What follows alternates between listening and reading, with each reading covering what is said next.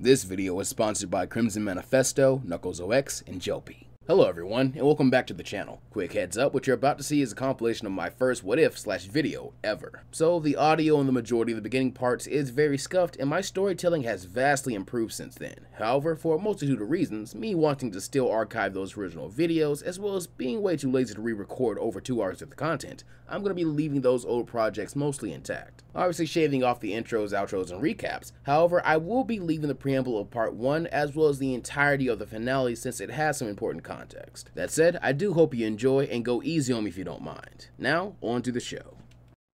What's up, Plus Ultra fam? It's me, Plus Ultraman, and today we're here to finally do our first What If on the channel. I'm very excited, so let's get to it. At this point, we shall be very familiar with the start of Dragon Ball Z. The original manga chapter, Raditz had his debut, came out in 1988, and he in the anime only a year to that. Not to mention, there are a ton of Dragon Ball Z games that'll follow his storyline and show the player how it all went down. Personally, Raditz is one of my favorite characters in the series, mostly because he had so much potential, yet none of it was really tapped into. Thankfully though, a lot of people have taken notice of this. MasakoX did his amazing What If Raditz Turned Good series, one of my favorite Dragon Ball Z games of all time, Budokai Tenkaichi 2, had a What If saga in it that had Raditz Turned Good called Fateful Brothers.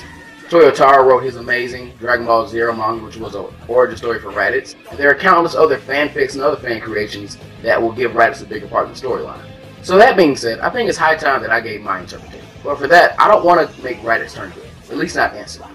I want to leave him as the same ruthless and cruel Saiyan warrior he was at the beginning of the series for at least a very good amount of time.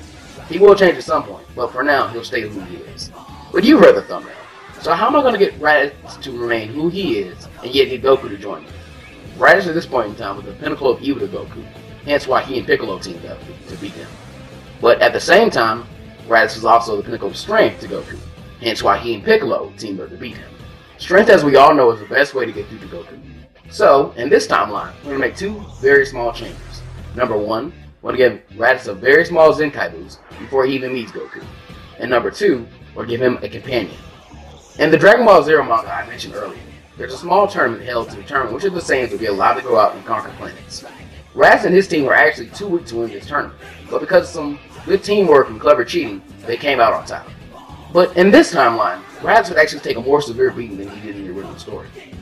This would warrant at least a two-day trip to the healing tanks, which actually works out because the planet was going to destroy it three days after that tournament. After Raditz is all healed up, he and his team, which was made up of him, a young Turles, and an unnamed Saiyan that we had never met before named Ricello, would embark to a planet called Descent, where they would face monsters that were much too strong for them to beat. Again, they've cheated because they're not strong enough to finish this. Unfortunately, as in the original timeline, Ricello would die. But Raditz's power boost would gain him enough power to save he and Turles. In the original story, he's listed at a power level of 517. So let's take him from that 517 to about a 580 or maybe a 590. He's nowhere near strong enough to take down these monsters, but he is strong enough to carry he and Raditz away, he and Turles away for a long enough period of time to rest. The two young Saiyans will be saved by Vegeta and Nappa, and this would be how Vegeta's team was formed. This would also bring the total number of Saiyans who were under Vegeta's rule to three. And with those two small changes out of the way, we can now fast forward to age 761. The original Dragon Ball timeline would not have changed other than the two changes I've just made. Goku has defeated Piccolo Jr., married Chi-Chi, and had his son Gohan.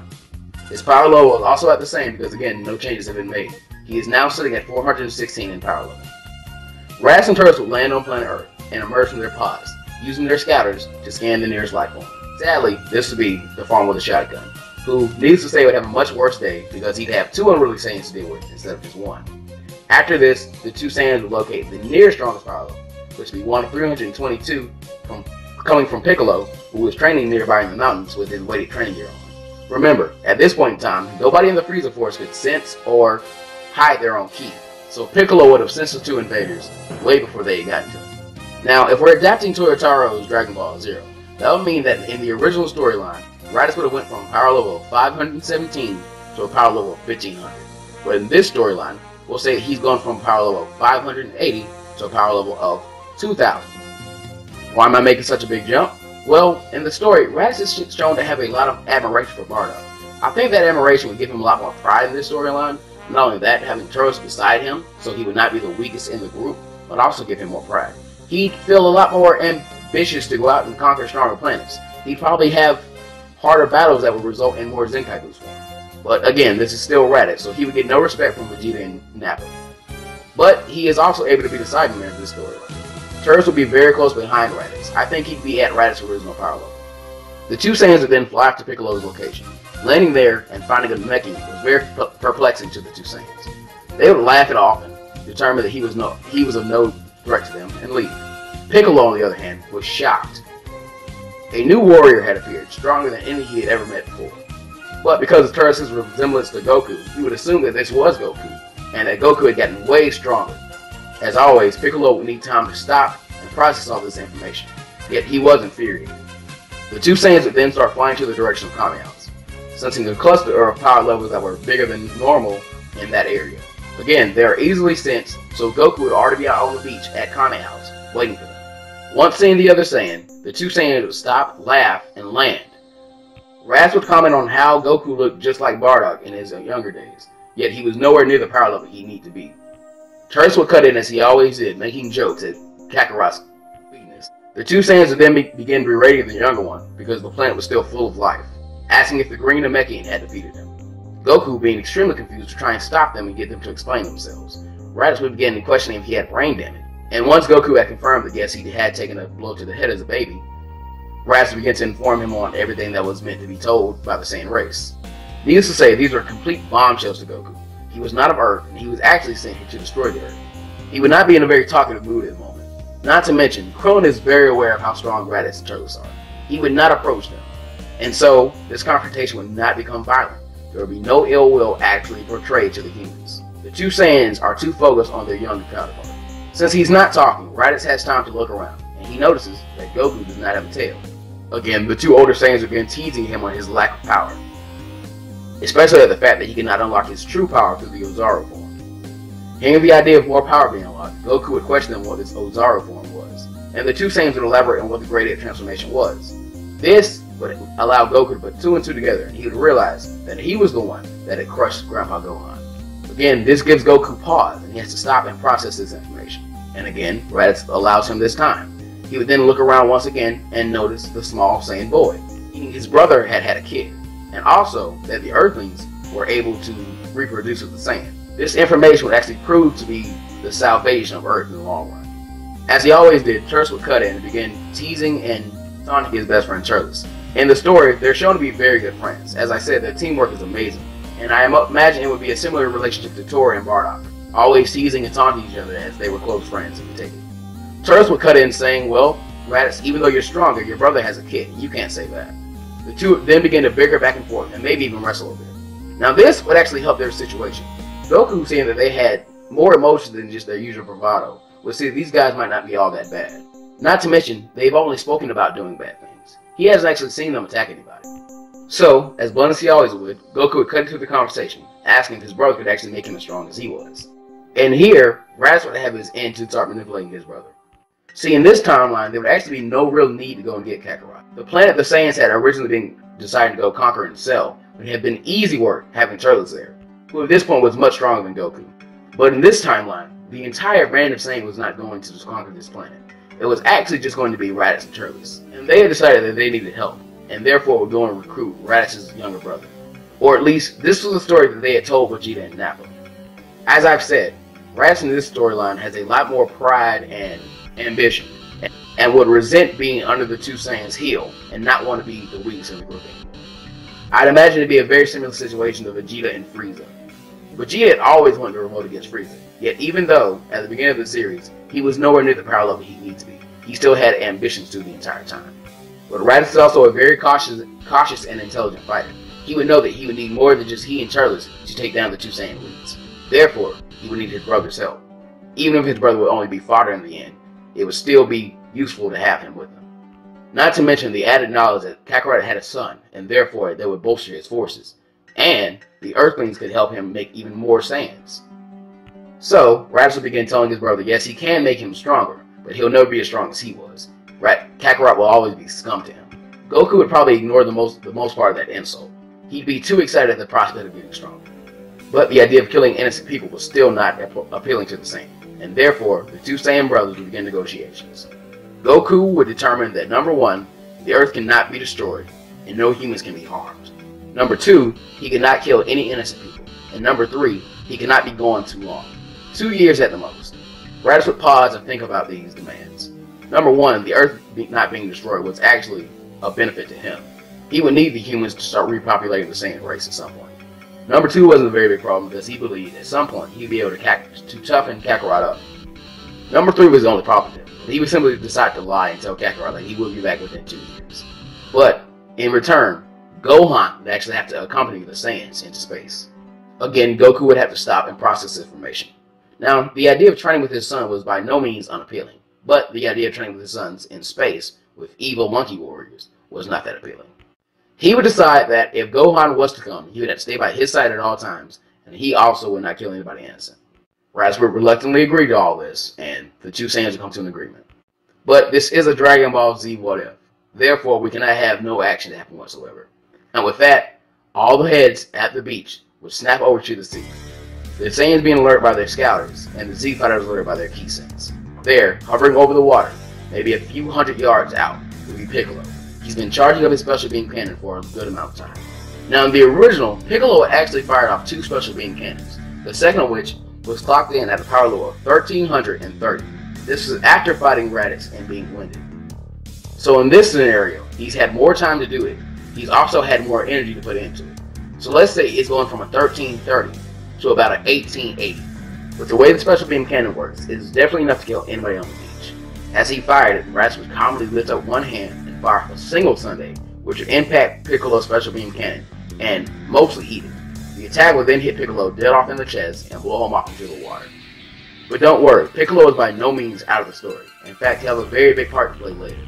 Though all the inhabitants on the beach would assume him dead, and therefore Kami with them. Before Goku could begin protesting and rethinking his offer, the two Saiyans would lift off into the air and tell Kakarot to meet them back here tomorrow. They would then fly off back towards the area where their pods had landed in to order Kakarot one. With the Saiyans finally gone, all the humans and the one lone Saiyan and half Saiyan could finally breathe a sigh of relief. Goku would have very quick conversation with the other people on the beach. They try and talk him out of going, but I think Goku would tell Krillin to make sure he starts training harder and that he'd have to go and do this. Either way, the Earth would be safe if he went. Though internally, I don't think Goku would be as sure as he was trying to make himself. With that, Goku and Gohan then fly on the Nimbus Cloud to Korin's tower. Goku would plead with Korin to give him any and all senzu beans he had. Korin would reluctantly comply and give him at least six, which Goku would hide and keep from his brother. He was not fully trust, trusting of his brother, and he might need an extra boost of energy to get he and Gohan out of this dangerous situation.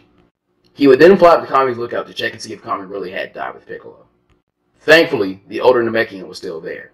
Kami, being fully aware of the situation, began trying to counsel Goku, asking him if he would please step into the hyperbolic time chamber and train so he would not have to leave the planet. I think Goku would flat out refuse this offer. Number one, his first experience with the hyperbolic time chamber was a very negative one. And number two, he's seen a power that did not require the hyperbolic time chamber to, to require. So I think he would be set on going with his brother at this point. Goku and Gohan would then fly back to his house to rest for the night. In the morning, Goku would have to sneak he and Gohan out of the house before Chi Chi could even find them. Because there was no way she was going to let Gohan go into space. The two would then arrive at the Kame house where the other two Saiyans were waiting for them. Gohan was still asleep in Goku's arm.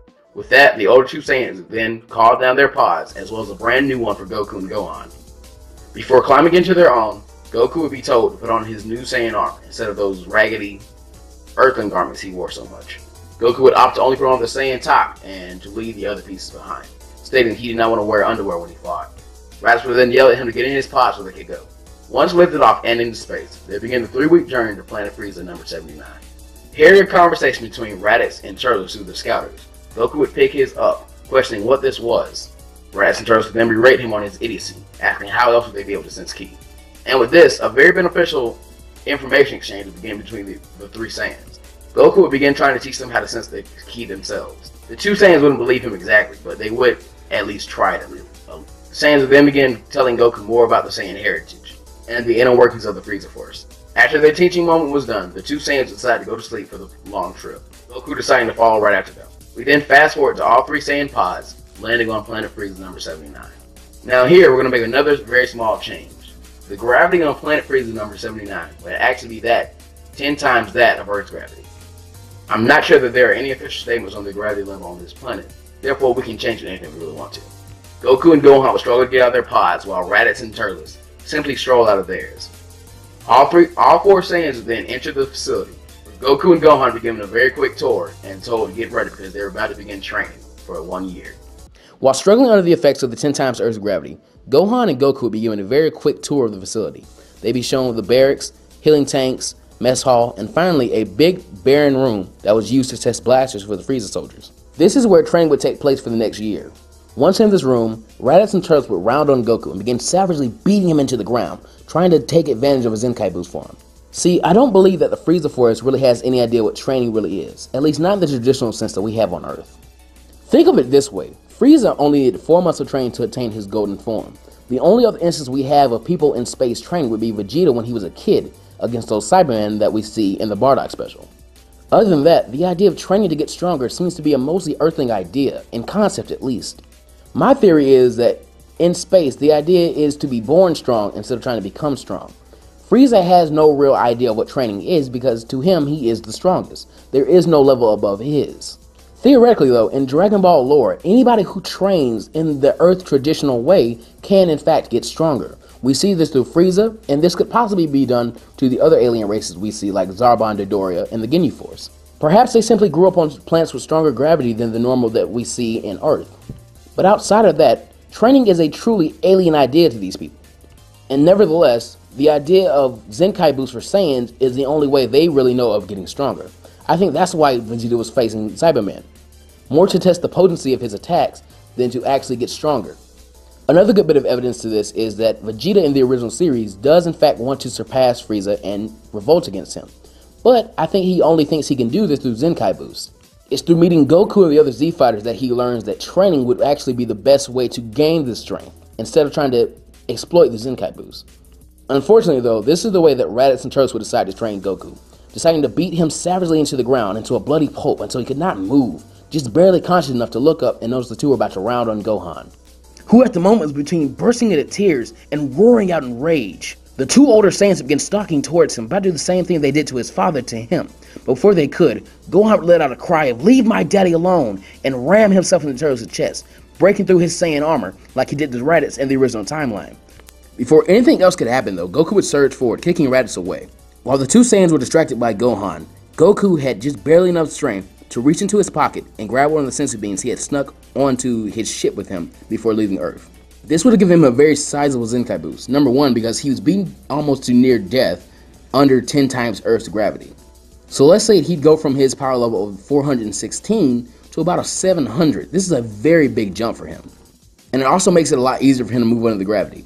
He's not completely mastered it yet, but he has gotten a lot e it's gotten a lot easier for him.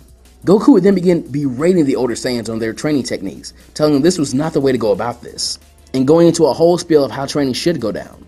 Not being very keen to listen to this entire speech, Raditz would cut him off and tell him that he can handle his brat's training, as per their agreement. And with that, the two older Saiyans would call the training for the day to a close, and direct the, the two younger Saiyans to the mess hall to finish eating. After eating their fill of scarfing down the horrible alien food, Goku and Gohan would have been sitting in the quarters they were given for the year of training. And here's where something very interesting happens between the two. Goku has to sit here and console Gohan. Remember, Gohan has just had his first real instance of having one of his rage boosts. He's never felt these emotions really and truly in his life. In the original series, once he had one, Goku was dead by the time he could have actually interacted with Gohan afterwards. But here we get Goku consoling his son, telling him everything will be okay and trying to get him to at least explain to Goku how he even accomplished such a feat. But Gohan, on the other hand, was not enjoying himself whatsoever. This was a horrible experience to him, and he was by no means happy about this. Here, we would have Goku understanding blatantly and bluntly that Gohan was not a fighter. He did not enjoy combat the way he did. In the original series, this is always implied, or it's a situation in which Gohan must fight to protect people. But now, it's something that he honestly has a bit of a choice in, and I think he would express to his father that this was not for him. This would definitely bring the two a lot closer because there would never be a real, real instance of Goku trying to push Gohan into training and fighting when he didn't want to. Nothing like what happened in the Cell Saga would happen here. So now we have to see Goku become a sensei in a way and incentivize his son to train at least a bit so the two of them can get out of this situation alive. And I think the way Goku would go about getting Gohan to train in this situation would be pretty brilliant on his part. Goku would commission Gohan to begin giving him a report on all the different technologies and alien species around the space station. And I think this would greatly intrigue Gohan. Not only was this a brand new subject to him, but it was also something nobody on Earth really knew about at this point in time. It would also be pretty advanced. Gohan always seems to be pretty bored with his studies, but this was also something new and from his father. The two would agree that Gohan would only have to train for so long each day before being allowed to walk around the space station with Goku accompanying him and learn about different parts and pieces of the machinery and the alien species. With that satisfied, the father and son would hunker down for the night and sleep. In the morning, their training would resume. The next day, this is how the training would go for about the next three months or so. Basic calisthenics for Gohan and Goku. For those of you who don't know, calisthenics are basically push-ups, sit-ups, and any other physical activity which requires your body weight as the weight you'd use. Goku would decide to do this, number one, to get him and Gohan acclimated to the higher gravity, and number two, to build basic strength for Gohan. During this time, Raditz and Turles would really have nothing to do. They'd either spend their time around eating, drinking, or going around to berate and bother Goku and Gohan as they train. Raditz and Turles would have easily taken notice of how quickly Goku and Gohan were growing, especially Goku, who had almost become an equal to Raditz at this point in power. Gohan's growth was slow, but the amount of power he pulled out during his rage-filled attack against Turles was amazing, and Raditz would have taken very keen interest in Gohan after this point. He would have very closely watched the young Saiyan hybrid, studying his every move and trying to get in his head at some point in time. So, when the young boy would go out for his expeditions around the space station with his father, Raditz would accompany them. And here we get another very interesting relationship built between the Saiyans. Gohan and Raditz are both pretty intellectual pe people, and because of that, I think Raditz would enjoy giving lectures and small talks to his uh, nephew, taking him around explaining how the healing chambers work, and even threatening the head doctor in the healing chambers to give Gohan some pens and paper, things so he could do his studies and record his data more effectively. The two would very slowly begin to bond, much like Gohan and Piccolo did in the original series. There, Piccolo did not become a good guy instantly, but you could very slowly see he was starting to soften up. After this, the real training would begin. Goku would start having small spars with Turles and Raditz. At first, he wouldn't be able to keep up very well, but by the time he had gotten up to Turles' power level, his martial arts skill would have helped him get an edge and at least hang with them the two for a good amount of time. And once again, we get another very interesting character reaction between the Saiyans. Raditz and Turles realizing that Goku's skills that he learned on Earth are giving him an edge in battle, and would begin to ask him, very reluctantly mind you, to start helping them refine their own fighting styles. Remember, there really is no idea of training or even martial arts in space at this point in time. Saiyans are really just brawlers, and at the end of the day, if you put a brawler against someone who really knows martial arts, I think the martial arts will win more times than the brawler will. So, a level of respect is beginning to be built between Goku, Turles, and Raditz because Goku is having to teach them, and the other two Saiyans are realizing that Goku is not as weak as they thought he was. He's just very kind. But that does not stop them from giving the boy very hard beatings, making sure that he would get his Zenkai boost at the end of each day, by putting him in the healing tanks to sleep that night. During this time, and after having him acclimate himself to his 10 times gravity, Goku would begin teaching Gohan the basic Kame style, even going as far to make him wear the weighted training gear he brought with him, because remember, Goku had removed his Saiyan Gi, or his Turtle Hermit Gi, at the beginning of this story. So that's still with him, and now Goku is wearing that right now, so he can get acclimated and learn in the normal way that Goku did when he was coming up. At the end of the year, the results of everyone's training will be very staggering. Now we're going to go through all these very slowly and one by one, with me giving an explanation of why they've grown to such a level afterwards. First up, we have Gohan, who went from his power level of 1 to a power level of at least 3500 to 4000. I'm placing him here number 1 because in the original series, he went from power level of 1 to a power level of about 2800. This was also in 10 times gravity and not having exactly a full year of training. Because remember, Piccolo had to have time taken out to toughen Gohan up and get him to the idea of being more than just a scholar in the brain. In this timeline, though, he's taking advantage of 10 times Earth's gravity. He also has Goku's training, which is a lot softer and would have Gohan react to it a lot quicker than Piccolo's. With an entire year. The only reason he has not grown more is because, again, he took a lot of his time out to study the space station and the alien species. Next up is Turles, who grew from a level of 1500 to one of 5500. I'm placing him here because he was not exactly able to take advantage of 10 times gravity, nor will Raditz be able to. But he was able to take advantage of a lot of Zenkai boosts because he would have been the one sparring with Goku the most. Again, Raditz would spent a lot of his time with Gohan studying around the space station. Moving on to Raditz, who would have grown to 8,000 in power level. Now I'm placing him here because I think his ambition and the fact that his little brother and young nephew were growing so quickly would have greatly motivated him. Not only is his pride invigorated at the idea that his bloodline was this strong and had this much potential, but the idea that they were growing faster than him also lit a fire under him to grow stronger as well. So we're placing Raditz at 8,000 in power level. Great job, Raditz. Finally, we have Goku, who by far grew the absolute most. He went from power level of 416 to a staggering power level of 10,000. Now hang on, I'm putting him here for a few reasons. Number one, 10 times Earth's gravity. It did a lot for him in King Kai's plan. Number two, he actually did have a full year to train. In the original timeline, Goku spent about six months trying to get on and pass Snake Way. Not to mention, a lot of that time was also spent trying to learn the Spirit Bomb and the Kaioken. In this situation, he's only been training himself. The only downtime he has had is to eat, sleep, train Gohan, and help Raditz and Turles refine their martial arts.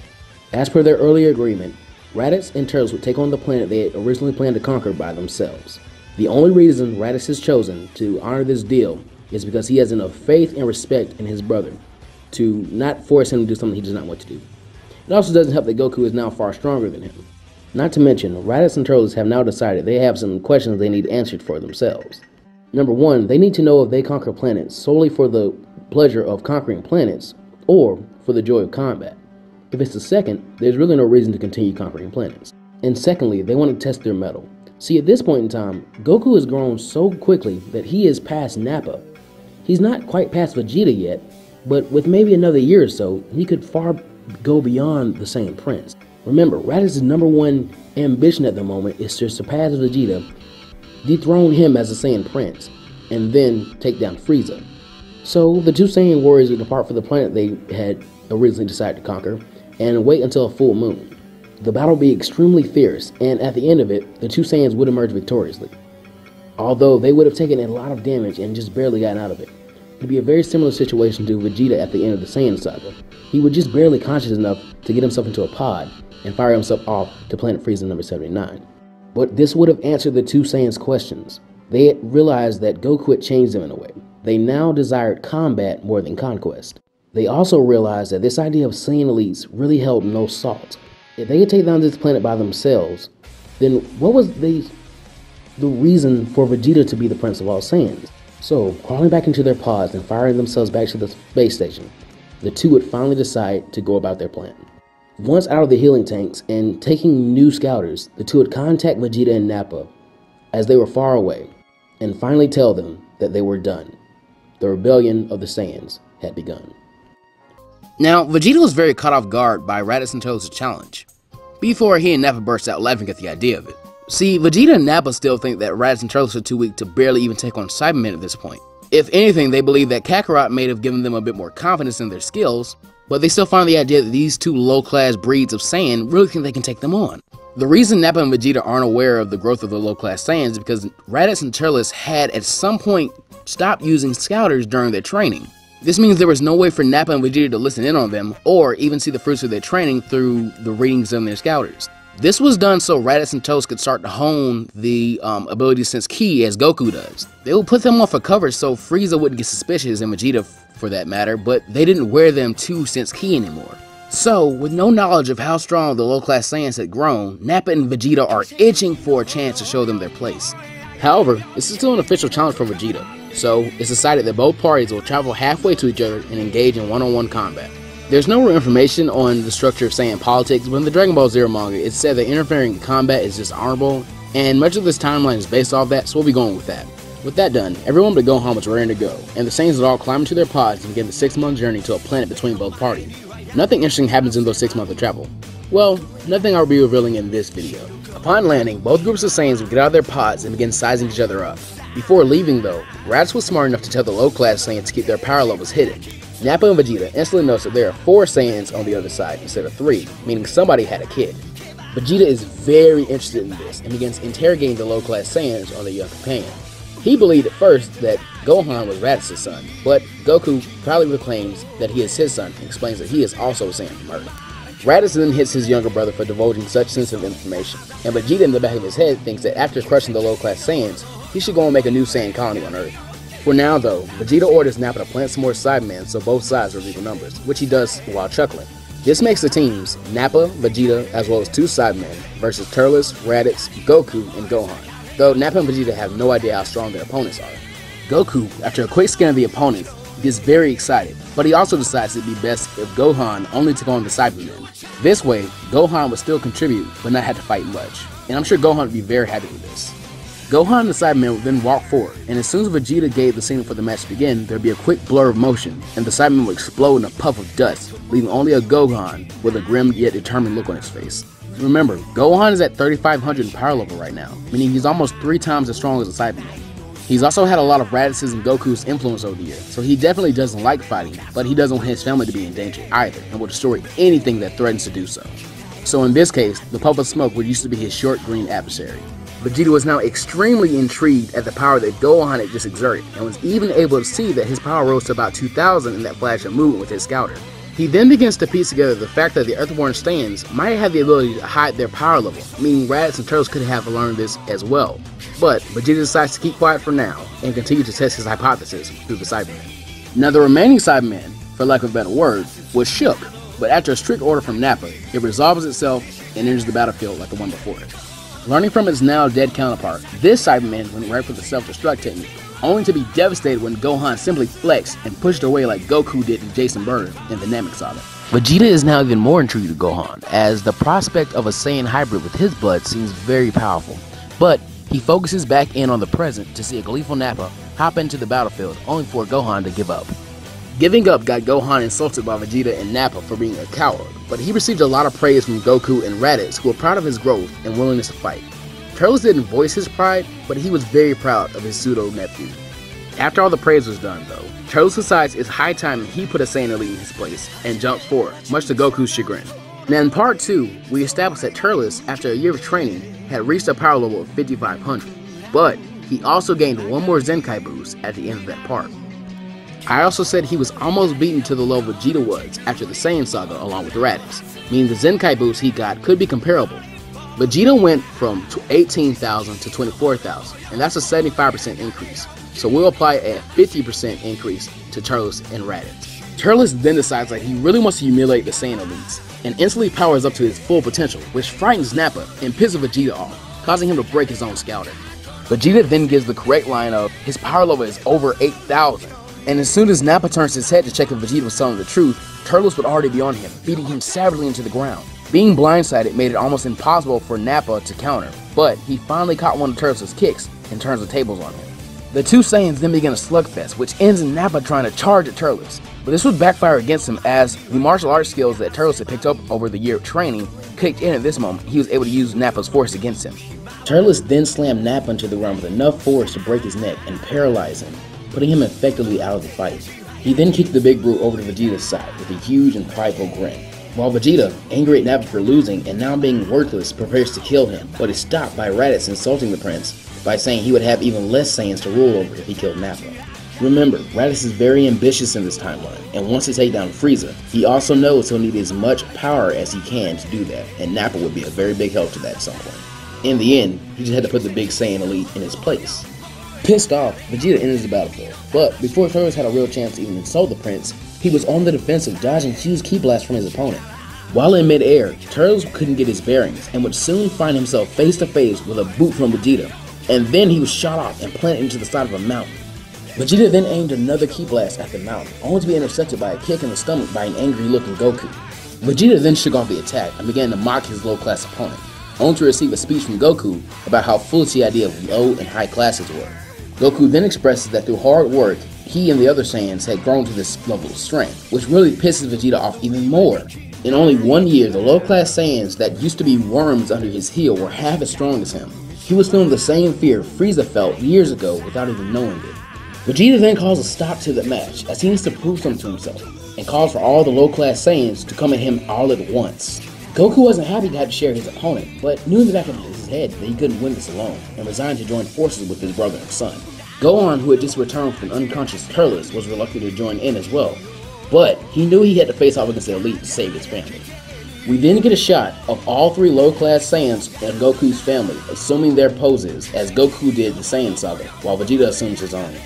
Now remember, Raditz received the same 50% increase from a Zenkai boost that Turles did, and so went from power level of 8,000 to one of 12,000, meaning he'd be the one to do the most damage in this fight, while Goku and Gohan provide him with cover.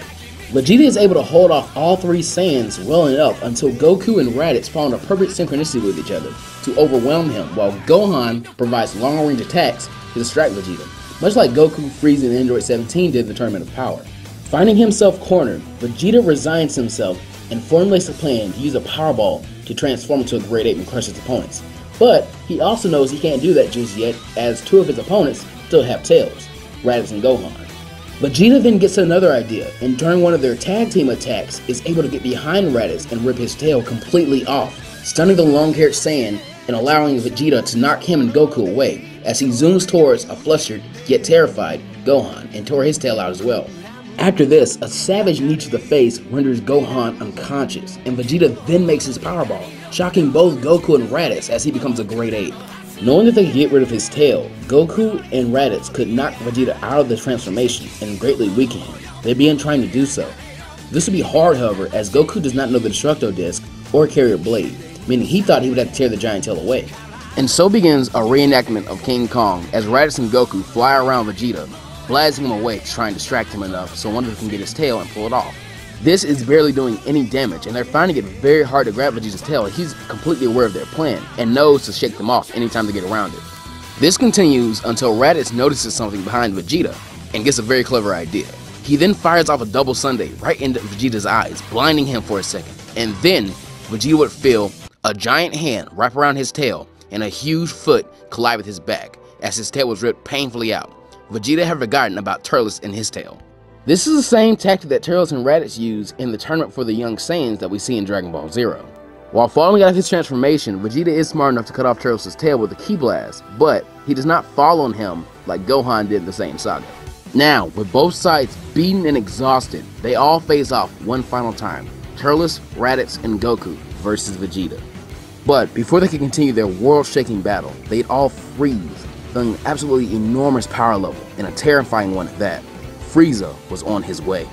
Remember, Vegeta somehow picked up the ability to sense Ki naturally after leaving Earth, so in this case, I'm just going to say that he has guessed how to do it and hasn't honed the ability yet. But you don't need to be super accurate with Ki sense to tell that Frieza has a big ass power level. Vegeta then began to laugh and gloat hysterically, thinking that Frieza must have been bored and wanted to see his victory against the low-class Saiyans. But his laughter ended once he saw the huge supernova attack form over Frieza's spaceship and begin flying towards the planet. At this moment, Raditz, Vegeta, and Turles all realized the truth about the destruction of planet Vegeta. Frieza was here to finish off all the Saiyans at once. He really was afraid of the Super Saiyan legend. While the older three Saiyans sadly accepted their fate, Goku decided he would not accept this and formed himself into the Kamehameha stance and began charging up the strongest one he could. Seeing this, Raditz and Turles decide to overcome their fear and join their younger brother, Raditz firing off a huge double Sunday, and Turles firing off his Kill Driver attack. Vegeta, lost in his despair, began to berate the low-class Saiyans, saying there is no way they could even hope to stop that attack, until he saw Gohan, who was so hurt, stand up and fire off another Kamehameha with his family, having all four attacks mix and fire against the supernova attack. Knowing he could not let these low-class Saiyans outdo him, his pride re-energized him, and he begrudgingly fought alongside them, firing off the hugest Galick gun he could into the beam. But right now, time for some quick math. Now, quick disclaimer, my math is most likely wrong, but I will be walking you through all of it. So, through some research into the Daizenshuu books, I've determined that a Kamehameha must have a power level increase of 122%. That could be wrong, but for this video, we'll be using that. I'll be using it 122% as a base multiplier for all charge Ki blasts. It's extremely possible that that's not the real multiplier for all the ones I'm going to name, but Goku and Gohan are using a Kamehameha in this instance, so that works for them. I've also rounded up all the power levels because I just wanted it to be a pretty even number. Other than that, I will show my math on screen. So, with this 122% increase, Goku goes to a 22,000 in power level, Raditz to a 27,000, Turles to an 18,000, and Vegeta to a 40,000. Gohan, interestingly enough, does get this 122% increase, but he does not go to 8,000. He also gets a rage boost because he's very angry in the situation. Now, rage boosts are kind of inconsistent because in the original timeline, Goku or Gohan, while fighting Raditz, goes from power level of 1 to 1307. So that'd be a 1307 times increase, and that's way too big for this situation. So what I'm going to do is I'm going to make it half a grade 8 multiplier, which is 10 times, and just make it 5 times which then bring Gohan to about 40,000 in power level. So altogether, this entire attack equals 147,000 in power level. Again, I will try and show all math on screen. I might be wrong. If I am, please do correct me. I have no problem with that. And back to the story. Even with all this effort exerted to repel the giant attack, all the Saiyans can do is buy themselves time. They're only delaying the inevitable. Once they could feel the heat of the giant attack, all the Saiyans would close their eyes and brace for impact. That is, until they'd find themselves on a completely new planet, Earth, and on the lookout, where a proud looking Kami was there, and they would then hear the voice of King Kai in their heads, telling them that they were welcome for the help.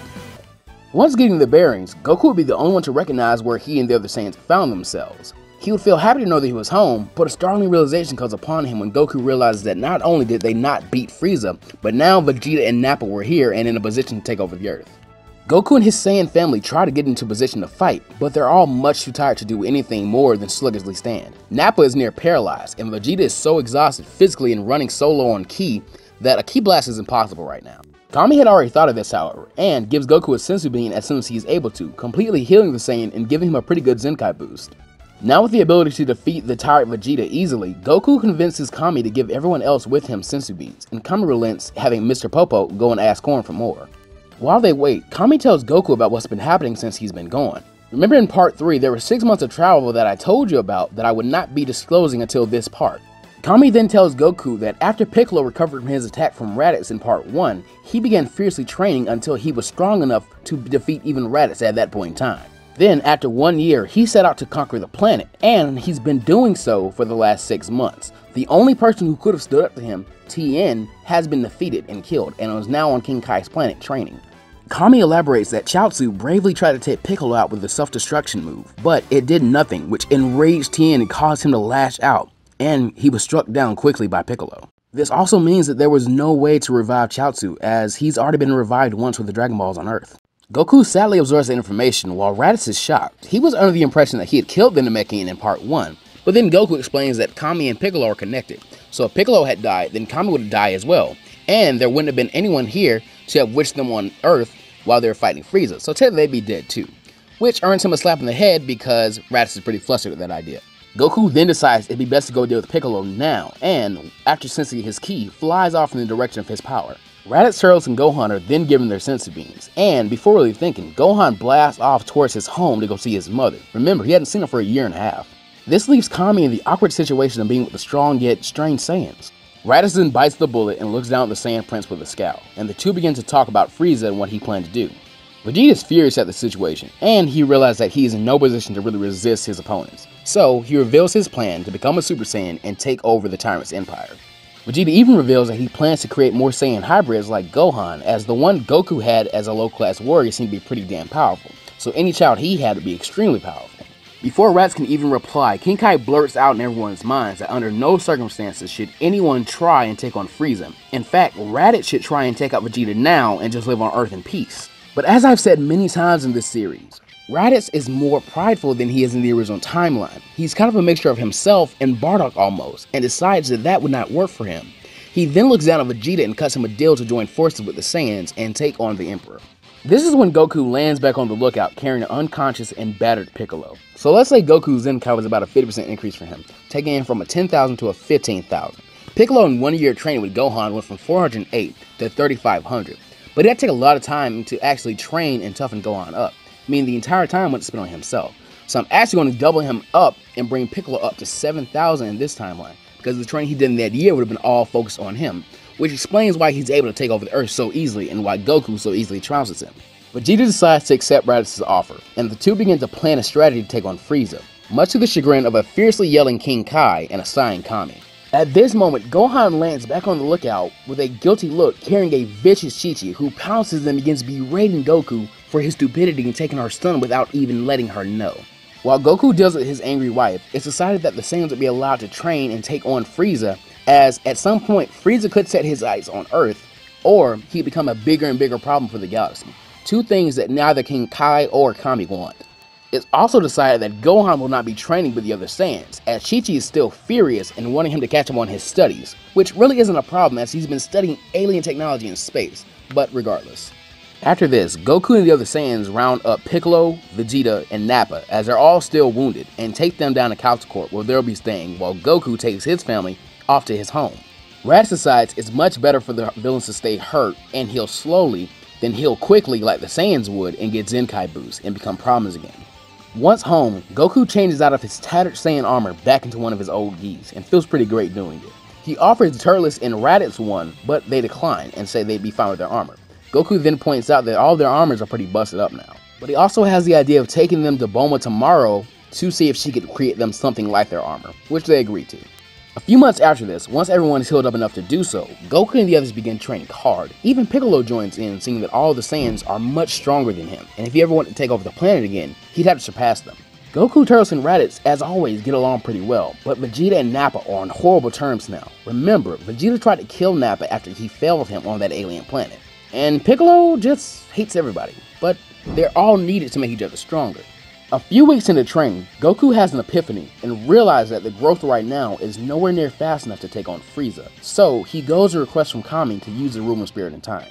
After a bit of prodding, Kami allows this. Now, the obvious choice for a person to go into the room with Goku would be Raditz, but I think Goku's going to choose Vegeta instead. Piccolo and Nappa are nowhere strong enough, and Turles and Raditz are pretty good friends and would probably get some good training together. Goku could go in with either of them, but he's trained with them for a year before, probably wants something new and exciting. This also means he can have the strongest training partner possible and really push beyond his limits. That means that Turles and Raditz will go in together, and Piccolo and Nappa will go last. Once in the time chamber, Vegeta and Goku go at it hard. Vegeta has little love for the younger Saiyan, other than a bit of respect he gained from seeing Goku take on Frieza without fear. Vegeta also gets pissed seeing that Goku's martial arts skills give him an edge in battle, and starts to study them, picking them up very quickly. But slowly, even though they're doing the exact same training, Goku starts to overtake them.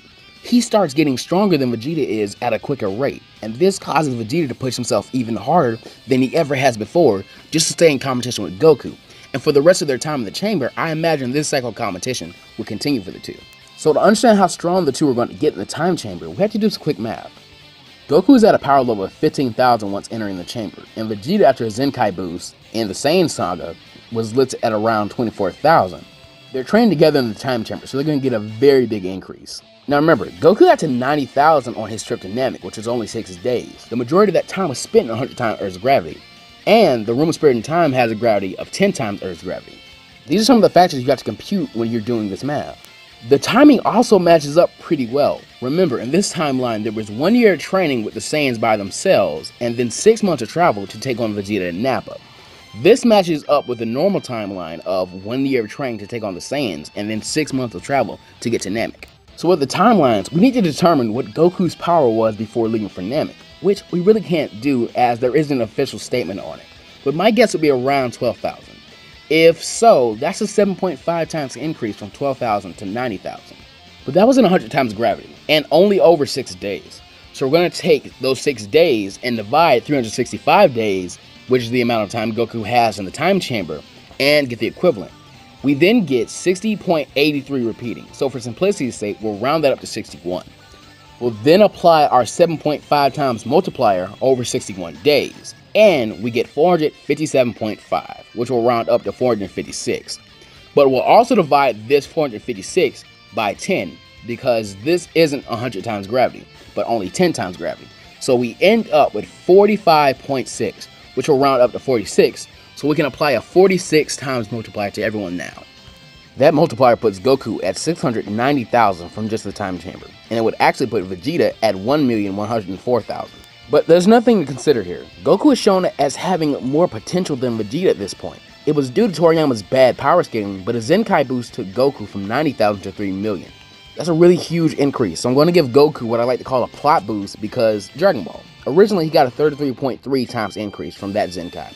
And I don't just want to overpower Goku, so we'll give him a 3 times increase and put him at 2 million. Goku doesn't let Vegeta in on the fact that he's actually stronger than him, and he only gives him the impression that they're about equal by suppressing most of his power at the time. Once emerging, Vegeta and Goku shock everyone with their power, and Raditz and Turles are raring to go after getting over their shock and climbing the chamber themselves. We then apply another 46 times increase, and Turles was at 8,250 and Raditz was at 12,000, so they're now at 379,500 and 552,000 respectively. Now remember, all this training takes place over the course of one day, and the people outside the chamber aren't just going to sit around. During Goku and Vegeta's training, Gohan takes the opportunity to introduce his mother to his uncles, and Chi Chi is shocked to see how much Turles resembles Goku. But she doesn't really care. She isn't really going to like them seeing as how they convince Goku to take Gohan into space with him, and she begins yelling at them, which answers the question in Raditz's mind of why Kakarot was attracted to the woman. Raditz then remembers his desire to begin creating more Saiyan hybrids, and he interrupts Chi Chi's tirade to begin asking her how Goku took her as a mate.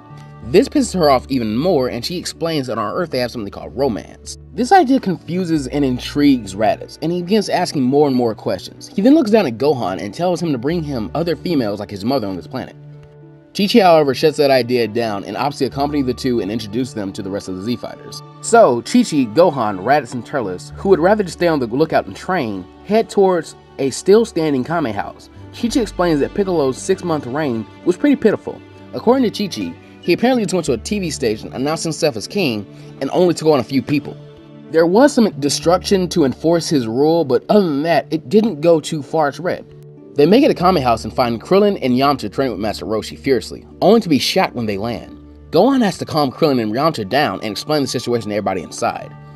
Everyone is relieved to know that Piccolo has been defeated, and by Goku no less. Knowing that Goku is back home gives them all a sense of relief though they tense back up knowing that there's an even bigger bad guy out there in space. Raditz notices Launch and thinks she's pretty cute, but noticing how meek she is, he kinda disregards her until he sees her fiery blonde form and yeah, dude falls in love. The Saiyans spend the rest of the day at Kame House learning about the Earthlings and their customs. Raditz learns more about Tien and Chaozu and the limitation of the Dragon Balls not being able to bring Chaozu back, and he begins to think about the Namekian homeworld and maybe having something similar. He suggests this to the group, which gives them all hope, but secretly, he begins to consider using the Dragon Balls to revive the rest of the Saiyans. This actually brought up a pretty good question for me while writing the script. In Dragon Ball, what counts as dying in combat? We see that people are brought back all the time and they really didn't even fight the villain that killed them, so I'm kinda curious, does it count for the Saiyans as dying in combat when really all that happened was King Vegeta and Bardock fought him, and the Saiyans just ended up dying by an attack that Frieza threw at them? Does that count as them dying in combat or no? Let me know what you think, and I'll probably put a poll up in the iCard right there. Back to the story. The next day when Goku and Vegeta exit the time chamber and Raditz and Turles jump in, Goku and Vegeta begin to spar and show off in front of everybody. After this, Bulma flies up onto the lookout on one of her jets, looking for Raditz. She wants to ask him, Kami, or Piccolo more about the Namekian homeworld and if they really thought there were Dragon Balls there, but she'd be disappointed to find that Raditz was in the time chamber and wouldn't be out for a day. Piccolo was unwilling to give her any information, and Kami just didn't know any. Vegeta then yells at her and tells her to go away, which puts the two of them into an argument. Mr. Popo, however, steps in and takes Bulma with him to discuss more about Planet Namek, and he even shows her Kami's old ship. Bulma then comes back and relays the information that there is a ship that could be used to go to Namek and maybe find Dragon Balls to revive Tien and Chaozu. This makes Vegeta realize something. The Saiyans don't have a ship. The only one on Earth right now is the old Namekian ship, and it'd be much too slow for Vegeta's taste. Bulma then offers to just build the Saiyans a new ship by reverse engineering Kami's ship, that way both groups can go about their quest at the same time. Vegeta scoffs and doesn't believe this idea will work. This lights a fire under Bulma, and she bets Vegeta that she can not only make a faster ship than the Namek ship, but do so in a month. And if she wins, Vegeta has to wear whatever she says when he goes to fight Frieza. And if he wins, then she'll let him take him out on a date. At the end of the day, Raditz and Turles exit the time chamber, a bit myth that they hadn't caught to Goku and Vegeta, and resolve to go back in another day before they leave for space. Nappa and Piccolo are extremely eager to get into the time chamber, but once in, Piccolo sets his new plan in motion. He is by no means good in this timeline. In fact, he's much worse than what he was in the original, because he's had no interaction with Gohan. Realizing he would have to use his wits to take out the Saiyans and take over Earth, no, the universe, because now he knows about Frieza and the Space Empire, he decides that he needs to get Nappa on his side.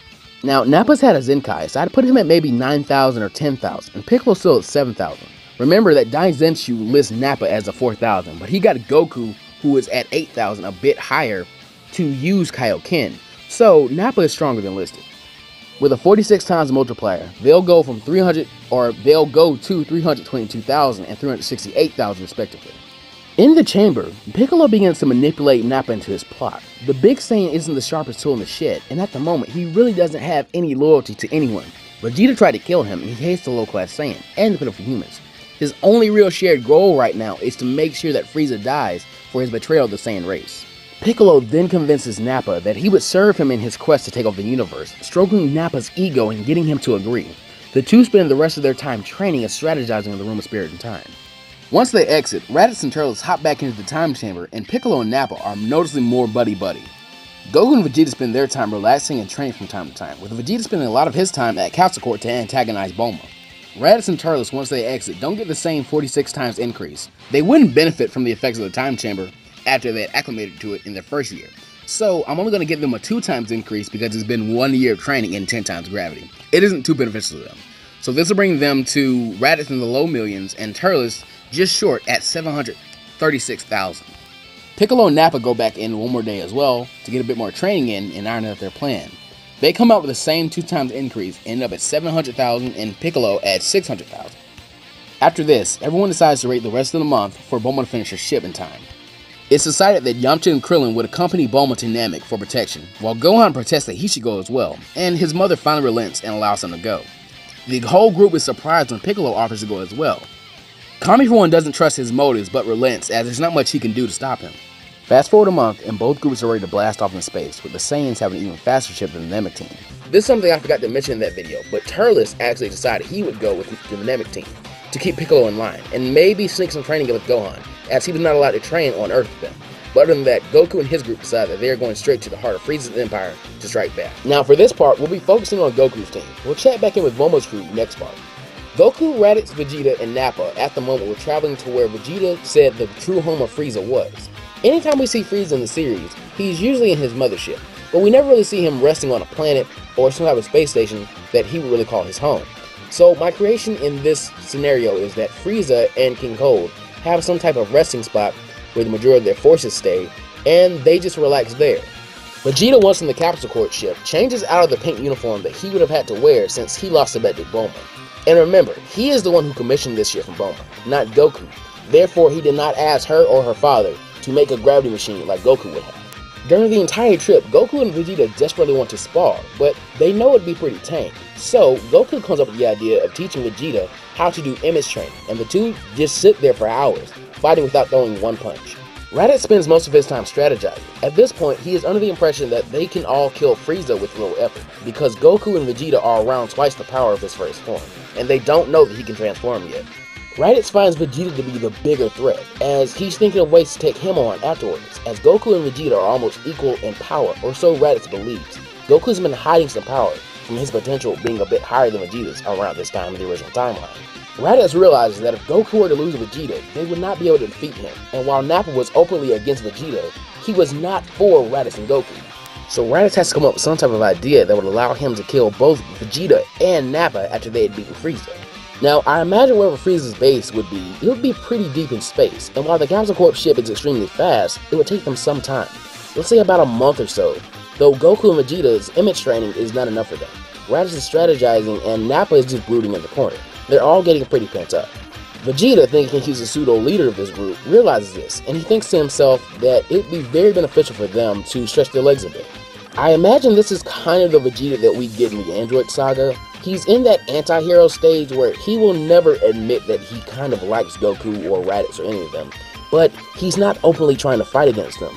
His corruption of good has kind of happened from Goku and Bulma. Vegeta decides that on the way they can make little detours and destroy Frieza-owned planets to piss the Emperor off. Goku, however, shuts that down, at least the destruction of the planets part, and tells Vegeta that he plans to do that, that they might as well have their fight now. Vegeta does consider this as is a pretty good idea, but he concedes this to Goku, and they compromise that they would eliminate all the Frieza forces on the planet. That way, they can get some time to stretch their legs, and they piss Frieza off. It's a win for both of them. So we get these scenes of the Saiyans running out to Frieza planets and taking on the Frieza forces. Goku, Raditz, Nappa, and Vegeta. And Raditz realizes how ironic it is that now he and his little brother are working with Vegeta to take down Frieza. This is the dynamic for the few weeks of travel, and finally, they reach their destination and find a huge wall of Frieza soldiers out waiting for them in front of the space station. Vegeta, still taking up his leadership role, decides that they wouldn't hide their power levels completely and leave them lower than the power of Frieza's first form, around 100 200,000. Enough to make Frieza throw his soldiers out, but be relaxed enough to simply sit back and watch the carnage. Raditz didn't love this idea, but he knows that Vegeta really wants to screw with Frieza, and he does love that idea. Now, I imagine Frieza's ship can make some kind of artificial atmosphere for his soldiers when they fight in space, because of this scene in the Bardock special. Granted, this could be that the atmosphere of planet Vegeta just reaches out so far that Bardock can still breathe, but I'm just going to say that in some way, there is some type of artificial atmosphere being created by Frieza's ship, because we've never been confirmed that all the other Frieza forces can survive in space like Frieza can. So, that's happening here on the space station, and as long as the Saiyans stay within that area, they can basically fight in space. Seeing their targets, Goku, Raditz, Vegeta, and Nappa fly from their ship and into the army and begin tearing through them like a thousand degree knife through butter. Vegeta taking extreme catharsis in this with all the payback, especially when he sees people like Queen easily blast him into oblivion. Nappa is getting a similar happiness from all this carnage, but continues waiting for the right moment to implement the plan that he and Piccolo had made while Goku and Raditz are just enjoying the fight and waiting for their chance to hit Frieza.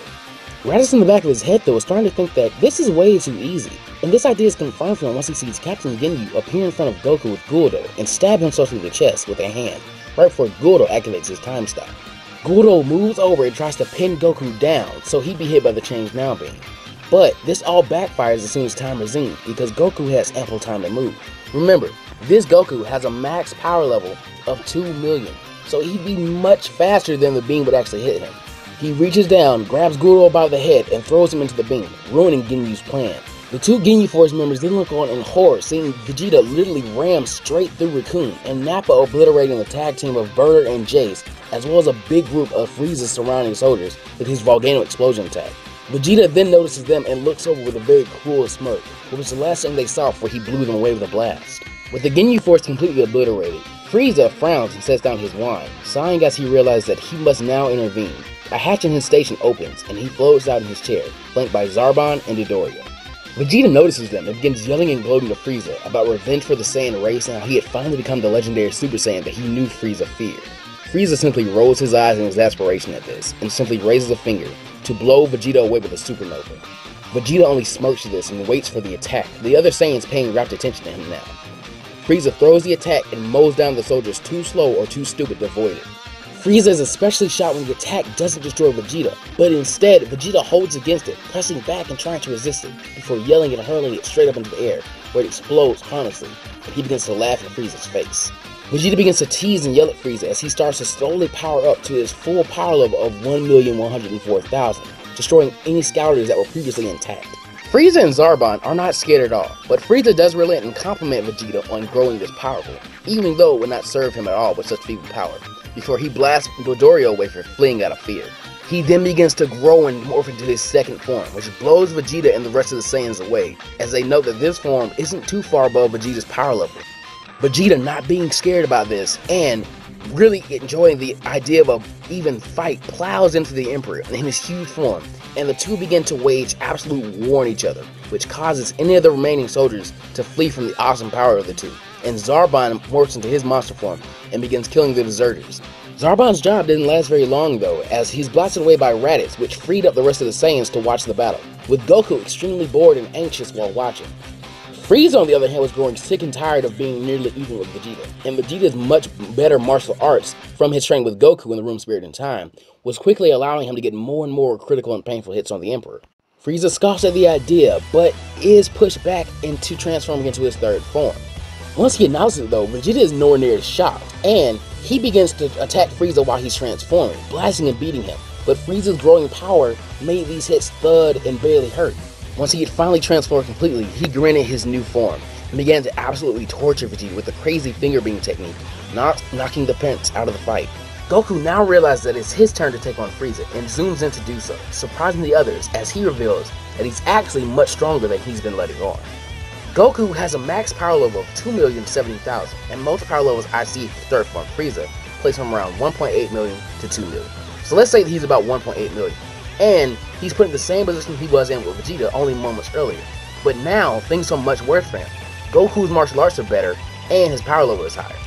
Frieza grows bored of taking this beating very quickly and goads Goku into letting him transform to his true state, which Goku agrees to, wanting a much better fight than one he's getting. Raditz, however, is having none of this and flies in to attack the Emperor himself. But with Goku laying off him, all Frieza has to do is sit there and transform, and none of the hits that Raditz is giving him are really doing much. Nappa, while onlooking the battle, realizes that this is the perfect chance for him to implement his plan.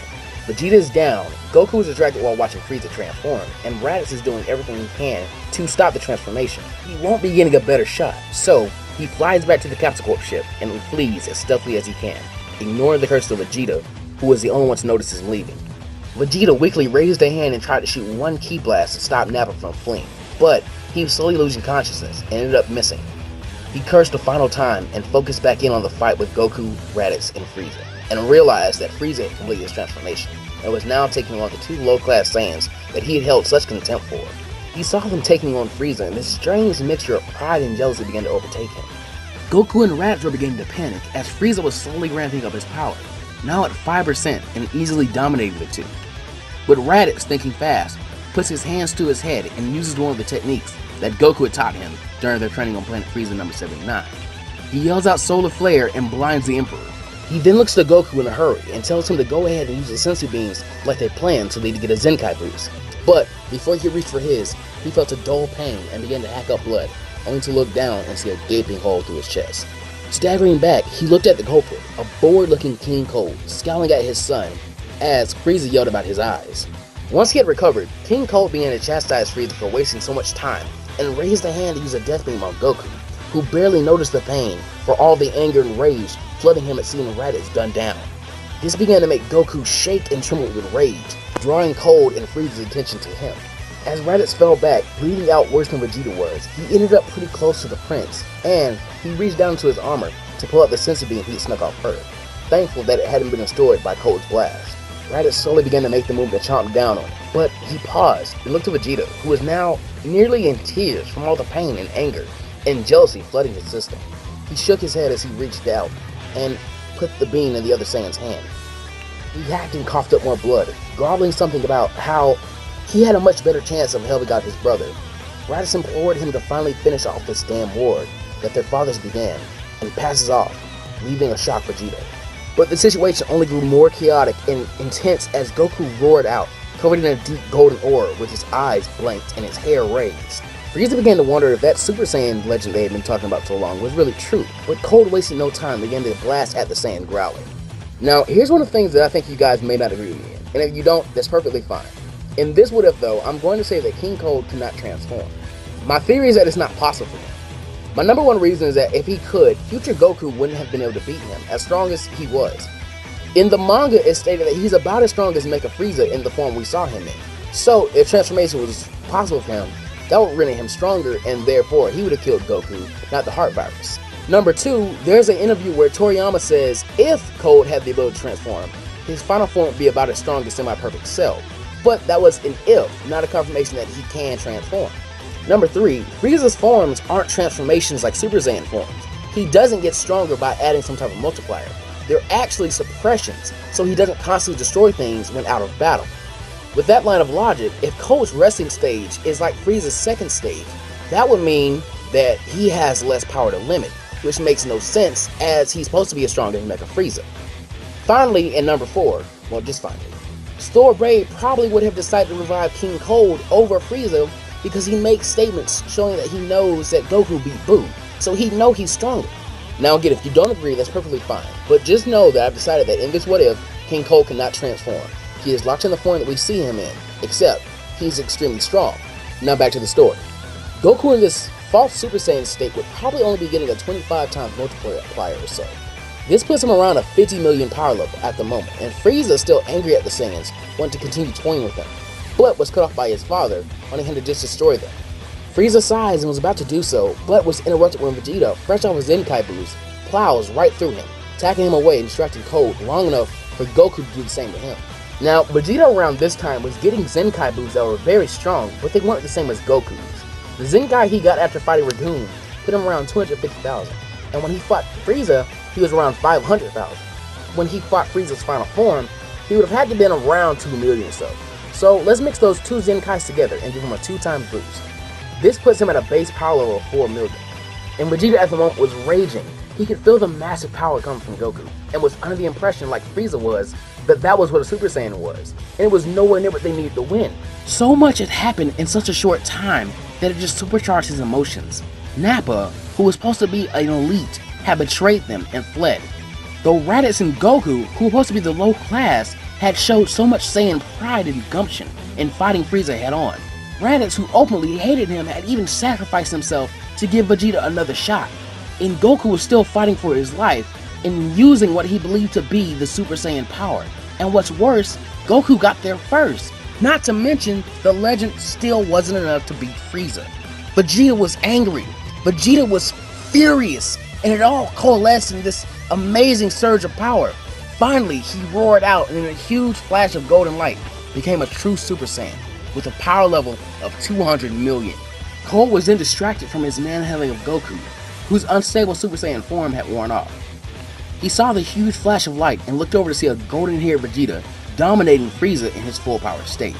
Cold realized that Frieza was in extreme danger, tried to blast Goku into oblivion, but was stopped when Goku reached into his gi like Raditz had done before him and produced a Senzu bean, chomping down on it and getting a Zenkai boost, and flashing into the same state as Vegeta.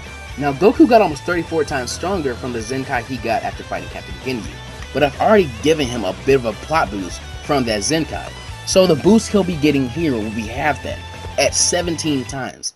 That puts Goku's base power level at 34 million, and when in Super Saiyan form, an insane 1.7 billion, which Vegeta takes ample notice of. With this new power, Goku begins to easily overpower and beat down on Cold. Knowing there is absolutely no way he and Vegeta can lose, he prepares to tell Cold to take Frieza and leave. But he stops, and he thinks about Raditz, and his father who Raditz had told him about. And even Turles and Gohan. He realizes he couldn't face them if he let Frieza and his father live. With a cruel and serious look, he throws King Cold into Frieza, stopping Vegeta from wailing on the young Emperor, and tells Vegeta that it's time the Saiyans give the demons a taste of their own medicine. Vegeta wants to argue, but he can think of nothing more fitting than the Saiyans blasting these two into oblivion. So he flies beside Goku and begins to charge up the attack that he'd been thinking of during their image training, that he was going to call the Final Flash, while Goku drops into the Kamehameha stand.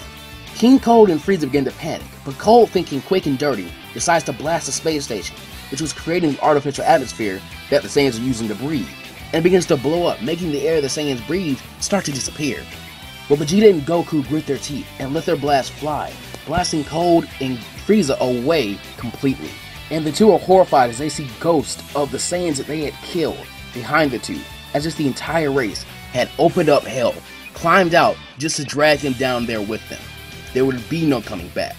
With no time to waste, Vegeta realized that their own fight would have to wait till later, and struggles to breathe to tell Goku to follow him into the exploding space station to get space pods and fly out of there.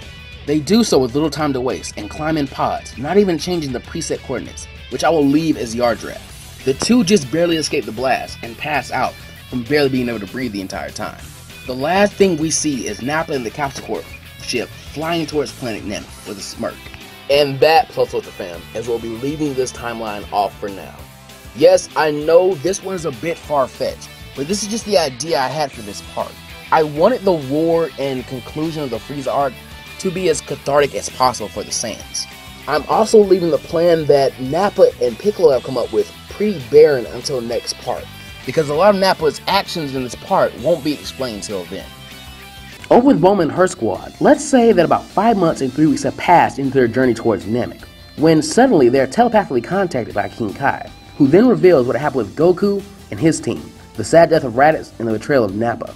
King Kai explains that he had waited so long to tell them because he wanted to know exactly where Nappa was going first and didn't want them to be irrational once they got to Namek, saying that they could just wish Raditz back once they had gotten there.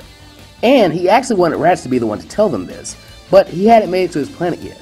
This was strange as King Yemma had told King Kai that Raditz would be allowed to keep his body, and that he had already set off down Snake Way. So he reckoned that he was just taking his sweet time. For now, though, they needed to know that Nappa had landed on planet Namek and began terrorizing the planet, collecting the Dragon Balls, and surprisingly, he had been taking active steps not killing any Namekians. Hearing this, Piccolo, who had been meditating, can't help but smirk hearing his plan being followed. Luckily, nobody noticed it though. Gohan and Turles noticeably have a total change in demeanor, Gohan's being actually visible, while Turles almost seems to be leaking killing intent.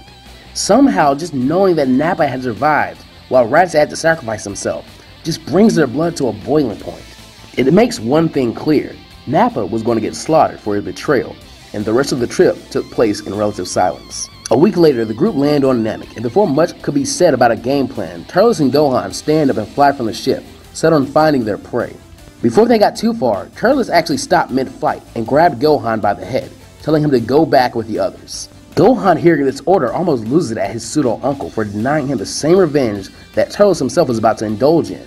But never being one to easily express his feelings, Turles growled back that it wasn't a request and that Gohan was too weak before shooting off, leaving Gohan to scoff and fly back to the ship with the others. While conducting his search for Nappa, Turles thinks inwardly. He was very glad that he had sent Gohan back. He didn't want him to turn out like he or Raditz used to be. Plus, he didn't want to be chewed out by Chi-Chi for showing her son something so gory. Back with Gohan, when the young hybrid had rejoined Bulma's group, she had activated the Dragon Radar, and Krillin tried to console him. But Gohan offers little thanks, though I will say that he is starting to warm up to Krillin and the others. Piccolo scoffs at the behavior and gets in telepathic contact with Nappa, who is a bit freaked out at first, but calms down after a while. He warns him that Turles is after him and that he'll need to stay on the move and keep his power level hidden. He also warns that the Earthlings have a device that can sense the Dragon Balls, so he needs to hide them somewhere so he can move undetected. And he needs to remember not to kill any Namekians, as any of them could be tied to the Dragon Balls, and if they were to die, the Dragon Balls would be inert, ruining their plan. Now, hearing all these orders, Nappa roars back at the Namekian to remember who is the boss here, and to show some respect. He goes off with this whole tirade about being a Saiyan elite and respect, and Piccolo just simply cuts off contact for now. On the Dragon Radar, Bulma notes that six of the Dragon Balls were actually together, and one was off in a lone direction by itself. Krillin says that since Turles had flown closer to the cluster, that must be where Nappa was, and since he wouldn't be needing help, they should go get the one by itself. The rest agree, and Yamcha scoots up Bulma, who seems less than thrilled about that. The group of five actually blast off towards Guru's house at full speed. They make it there in a few hours, and Piccolo having on and off contact with Nappa all the way through. Nappa reveals that he had buried the balls and been on the move ever since, leaving Turles on a wild goose chase. Once there, they find a few Namekians, not the hundred or so that King Kai had told them about, but maybe a good 12 or so. They all look frightened and huddle inside the house, as Bone begins to speak for the group, in some of the Namekian that Mr. Popo had taught her. She says that they come in peace, and after hearing that these intruders meant no harm, one voice called out over the others to her, and said that she was the weakest of the strangers, and to come in. To her credit, Bulma actually bravely does so without much of a thought, not really seeing the danger in a situation like this. A few minutes later, the same voice calls out saying that everyone but the evil Namekian could come inside. They enter while Piccolo growls, and Guru begins to explain more about the situation. The conversation is halted about five minutes later, though, when a massive power is approaching, and the group wonders if it were Nappa, before stating that the king was much too pure-hearted to be him. Their answer is given when they hear a voice outside, yelling about how such an evil Namekian even existed, and why he was here. Guru then yells out in the classic, No! and calls him inside, telling him to ignore the impure one and say hello to their guests. This Namekian walks in and respectfully asks the Grand Elder to please refer to him as Gast, as he was neither Nail or the three Namekian warriors that had fused to take on Nappa. Guru then expresses that he was still unhappy with that choice and informs him that the visitors had already planned on getting rid of this menace, and in return would be allowed to use the Dragon Balls. Gas then begins to look over the Earthlings and asking his own questions, and after a while, the other Namekians in the home begin to relax and conversate, still steering clear Piccolo outside though. Speaking of Piccolo, outside he was currently in telepathic contact with Nappa, giving him directions, and soon he gives him a signal they had been waiting for, and yelled into his mind, now. Just then the roof of Guru's house was blown apart, and the huge hand of Nappa took the Dragon Ball on top of Guru's chair, as well as one of the young Namekians that had been too close to the chair. The booming laugh of the brute could be heard as he flew off, not even thinking to hide his power any longer. Piccolo could then be heard outside cursing, and a thud from him dropping his weights before he as well zoomed off after his silent partner. Gas following close behind them, Gohan, Krillin, and Yamcha deciding they should also go as well. But they are frozen when Guru coughs out for them to wait, as he has something that would help them. Piccolo, hot on the trail of Nappa, was roaring at him in his mind for going off the plan. He wasn't supposed to take a Namekian, and Nappa calculates back into his mind that it would be the end of their partnership, and cuts off contact. Before Piccolo could do anything else, Gas flies alongside him and yells out that if the evil Namekian had something to do with this, he would kill him. And the two are then interrupted by the sight of Turles zooming past them, causing them both all to focus and fly faster. A while later, Nappa lands where he hid the Dragon Balls and throws the young Namekian to the ground. He then digs up the Dragon Balls and tells the kid to summon the dragon. But before the kid could, a dark blue and black blur plowed into the back of the massive sand, roaring out that this was for Raditz. In part 4, we put Nappa at around 740,000 and Turles at about 760,000. So I'm going to say that that 20,000 difference does make Turles stronger, but it's not a cakewalk of a fight for him. The two Saiyans begin brawling as Piccolo and Gas arrive, while Piccolo hangs back to further assess the situation. Gas flies in to help defeat the menace that had been terrorizing his planet. He's shocked, however, when Turles rears on him, knocking him away and telling him to stay out of this fight. This further angers the Super Namekian. He begins fighting against both Saiyans, while Piccolo, seeing a chance to stick him out on top, smirks and says about a new plan. By the time Gohan, Krillin, and Yamcha all arrive with their new power unlocked by Guru, Nappa, Turles, Gas, and Piccolo are in a huge brawl, all taking shots at each other, while a young Namekian quivers in fear and runs to them, recognizing them from Guru's. Krillin tells Yamcha and Gohan that they should grab the Dragon Balls, while the others are distracted and get the kid back to Guru's. But Gohan, finally sick of being told what to do, barrels into the fight. Yamcha and Krillin curse at the boy's impetuousness and in to at least help him. Gohan could feel his power slowly growing in him, but he still wasn't enough to play in this huge battle. He gets knocked away by a punch that someone had decided to dodge and reels in pain, looking up to see Krillin and Yamcha at his side. Gohan snarls and tries to fly back into the battle, but then a power they had recently interpreted as Piccolo's begins to rise, even higher than everyone there, and the eyes of those in the battle widen as a second Piccolo flies from behind the huge rock that the battle had been taking place by and yells out Special Beam Cannon, releasing the attack towards the cluster of fighters. Nappa one avoided this attack by pushing gas into it and dodging to the side, while Turles understands what's happening and pushes Krillin, Gohan, and the others out of the way of the attack, as he and Gas are drilled through the chest by it. The Saiyan and Super Namekian both thud to the ground, almost dead. Turles actually does pass on fairly quickly, while Gas begins trying to slowly heal the huge hole in his chest. Gohan was frozen, after being pushed to the side by his uncle and watching him pass on, he began to growl and snarl and tremble in rage. Meanwhile, Now could be heard chuckling obnoxiously and congratulating Piccolo, saying that since he had helped him out, they could team back up. He somehow ignores the fact that Piccolo had also tried to do him in with the same attack, as Piccolo emerges with his multiform technique. Before Piccolo could reply to anything, they both look over shocked to see Gohan roaring out in rage, as his hair is constantly shifting from his natural black to a bright blonde, and his power is shifting and increasing and decreasing very rapidly. Now in part 3, Gohan was at a 35,000 power level. Let's say that he did get a Zenkai boost from the big beam trunk of Frieza and give him a 1.33 times boost. That would round him up to about 47,000. Now he's only received the initial boost from Guru, so that'll put him at a power level of 43,851. Remember, it works on slow release of power. And adding on to that, the Super Saiyan multiplier appearing and disappearing at any given moment has his power between 44,000 to 2.2 million. Gohan roars out a beastly roar of anger and drives into Nappa, more angry at him than Piccolo.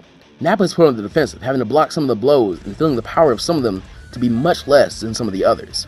He knows that this power also reminds him of the power that he felt spike up when he was fleeing the battle with Frieza. It had to be Super Saiyan. After having one of his arms almost broken from blocking one of the kid's punches, Nappa finally sees his hair fade to black and aims a hard punch right into his opponent's neck, making a loud crack ring out.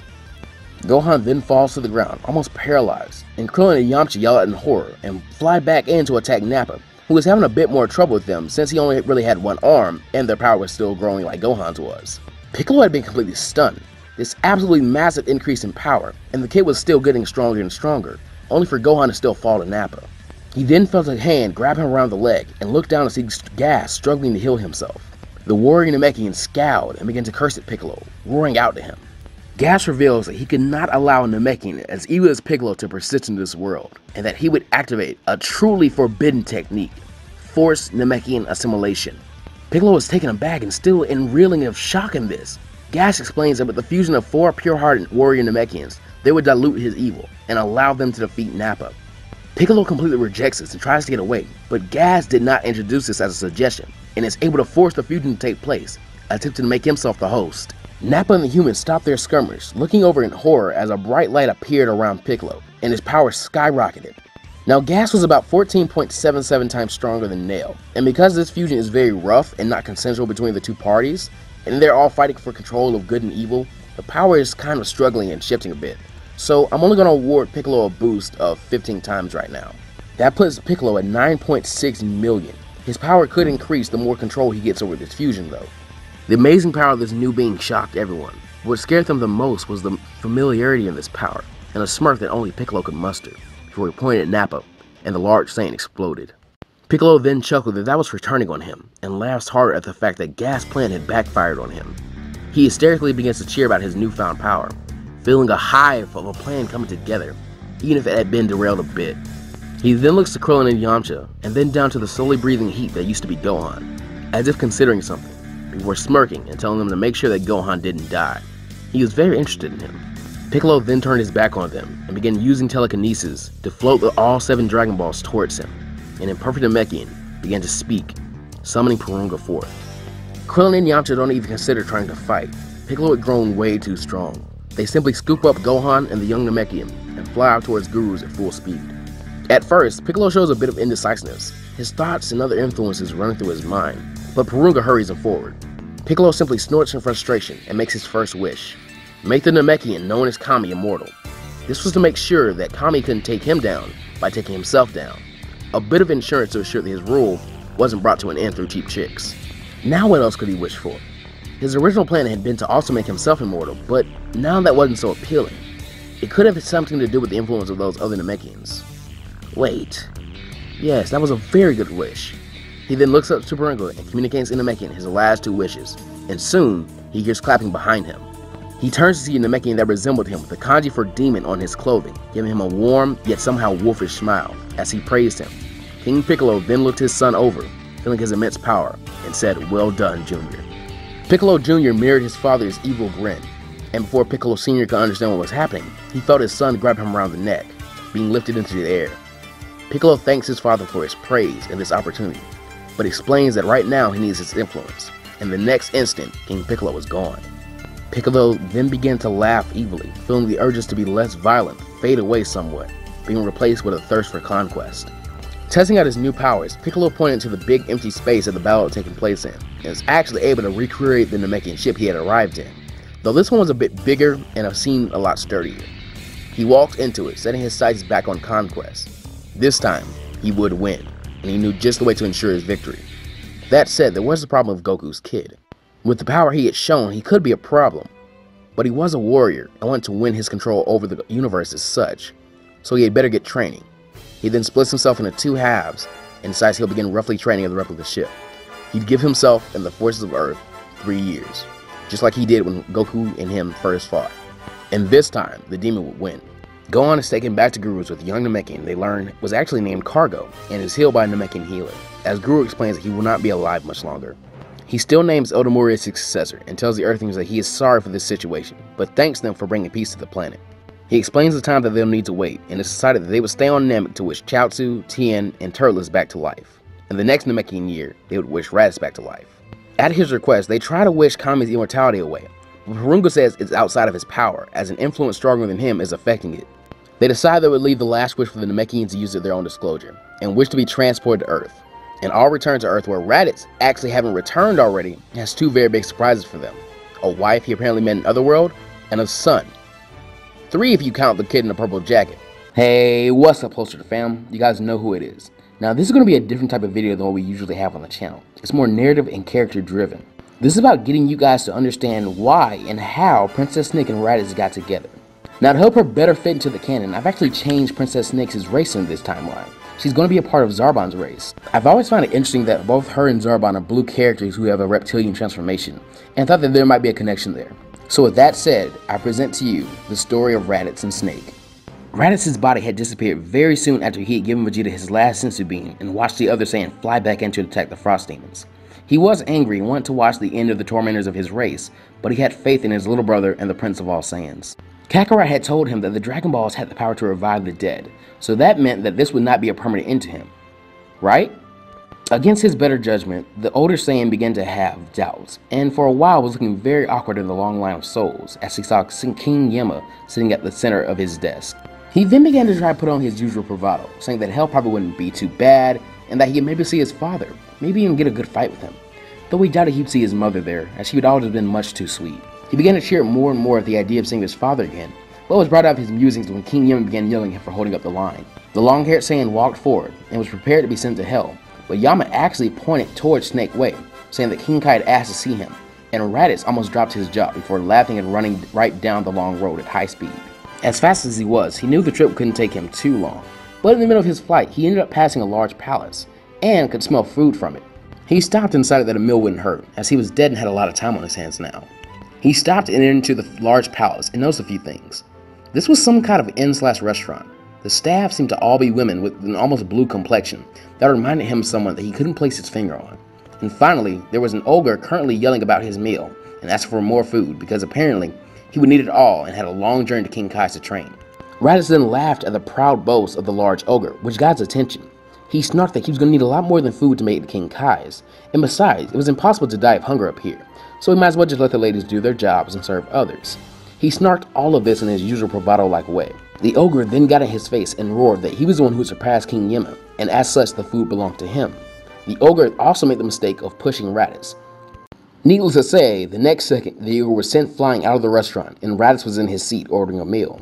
He was served pretty quickly by one of the waitresses, who thanked him for the help, and soon had a curly-haired woman walk over. He noticed she had an air like Vegeta's, that of royalty. She thanked him for dealing with the brew, and said that she didn't want to do it herself as it was pretty unladylike, before she giggled and sat next to him. She said that usually they charge a portion of someone's soul for a meal, but his would be on the house today. Raditz then gave her a grin, somewhat a cross between Turles' snarky smirk and Goku's genuine smile, and asked her name, to which he, he was given Snake. The two began to conversate like old friends, making the time fly by. She informed him that this place was a rest stop between Snake Way and King Kai's, and most warriors gave up before reaching this place. She also mentions that she was the owner and actually asked King Yemma to allow her to run this place in return for her and her servants having their bodies to use in Otherworld. Raditz really enjoyed himself here and the company and decides that he would return here after going to King Kai's, as the trip was very quick for him, and King Kai probably wouldn't mind him coming and going, so far as he was there and back within a reasonable amount of time to train. By the time that Bulma and her team reached Namek, Snake and he had grown very, very close. One eventful visit involved one of the servers accidentally referring to Snake as Princess, which she had actually avoided up till now. This caused the woman to turn pale as Raditz's suspicions about her royalty status were confirmed, and he began to interrogate her about this aspect of herself that she had kept out of their conversations. She gains a very solemn look, having already been told that Raditz was ex-Frieza Force, asked a question, Do you know of a man named Zarbon? Now, this got Raditz's eyes to widen, as he had confirmed that yes, he did know of a man named Zarbon, and had assumed that they were of the same race, since they both had the same bluish skin and almost reptilian eyes. But then he gains a proud smile and claims that he was actually the one who killed Zarbon. Snake then looks especially surprised and surges forward, hugging the man, almost crying. Once calmed down, Snake reveals that not only was Zarbon the prince of their world, but also her older brother. She explains that their world was sold to them by the Frieza forces, and that Zarbon had grown angry with their father, because he felt that the monarchy should be disbanded. Zarbon did not like this idea, and as such decided that if he could not rule their world, then there would be no world. He contacted Frieza behind their backs and lied about a plan to overthrow the Emperor, which Frieza took at face value. Zarbon told this to her and her father as he fled the planet, gaining some sadistic pleasure from it, as he had served Frieza since then. Raditz was sent reeling from this information, but it didn't really change how he felt about Snake at this point.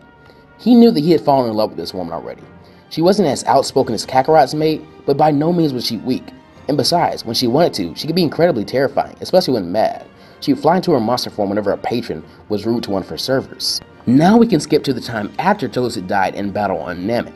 He, unlike his best friend, wasted no time in making it down Snake Way, as he was very excited to see Raditz, but was surprised to arrive to King Kai's and find Tien and Raditz training. Now let's say that Raditz and Snake had decided to get together about three months before this event takes place, so he also finds a pregnant Snake there as well. Turles makes the usual congratulations and slyly asks if this means that Raditz and Launch would not be a couple. This actually gets Snake to go into her monster form and hear of a romantic rival. A while later, King Kai ends up contacting the Namekians after the Earthlings had wished to be transplanted to Earth, and asks them to use the last wish to revive Snake, as she couldn't just stay there on King Kai's planet with the baby for too much longer.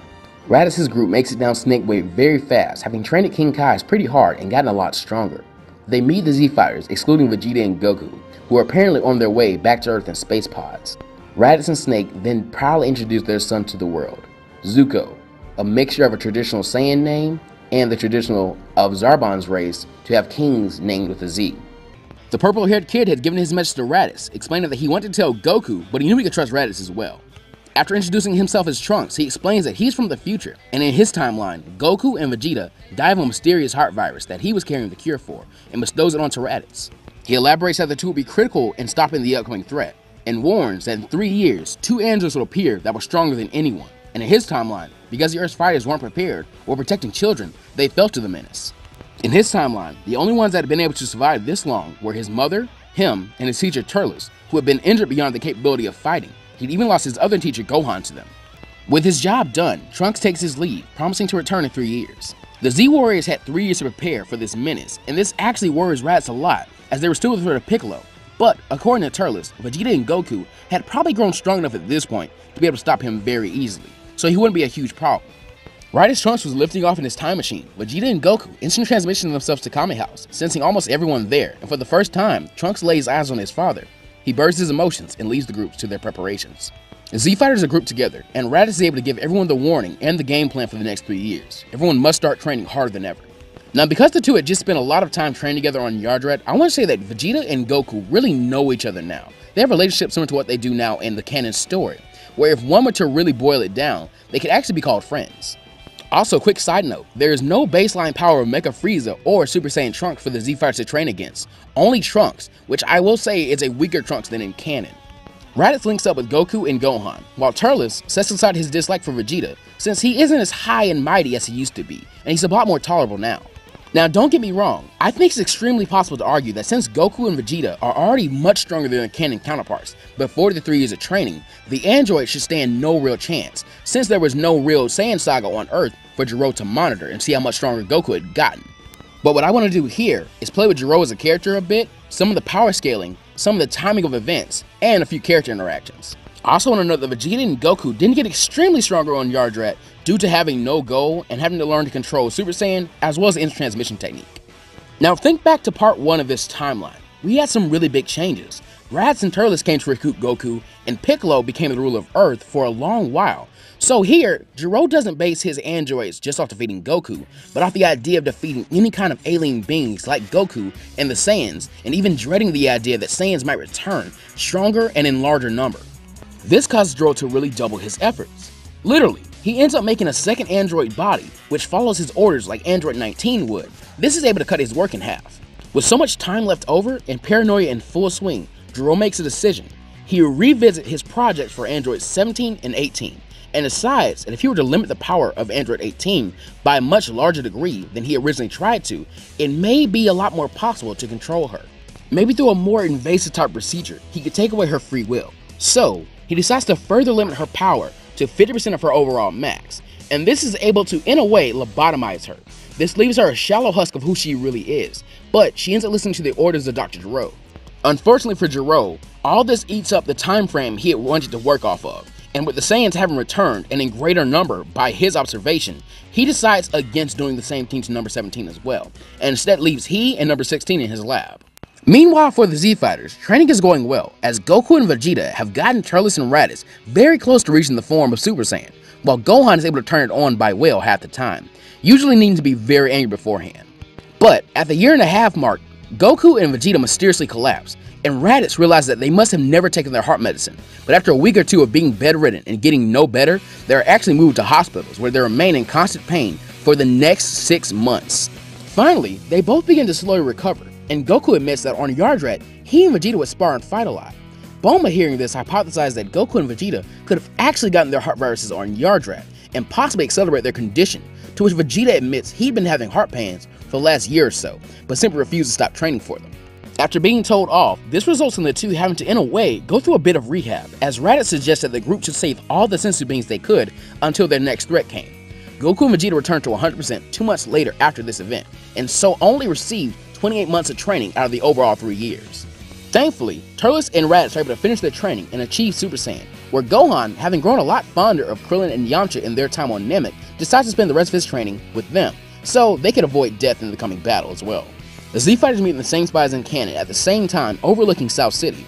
Bulma and Baby Trunks are there as well, and Vegeta is already there with the group.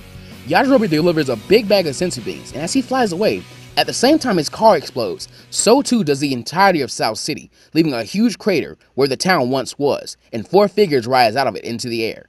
Dr. Gero berates number 18, telling her he didn't want her to do any damage in the city because he knew this would happen, that his order was only applied to androids number 19 and 20, and if she had a free will, 18 would have snapped that he should have specified that. Note, in this timeline, Gero is actually Android 21 since he made a copy of himself which would be Android 20. Goku and the Z-Fighters quickly rush over to the androids, finding the group unmistakably for any ordinary human, except for having no sensible energy whatsoever. Pleasantries are exchanged, and Goku angrily realizes that there is no need to take the battle elsewhere, as South City is completely gone, and both groups land and begin to size each other up. Four androids and four pure-blooded Saiyans, ready for a good fight. Goku and his Saiyan comrades tell the others to stand back and let them handle this. But then something of a squabble pops up between the group.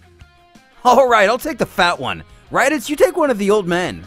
Turles, you the other. Vegeta, you take on the lady. Hey, I'm not fighting a woman. You take her on, Kakarot's. No way. Turles, you take her on.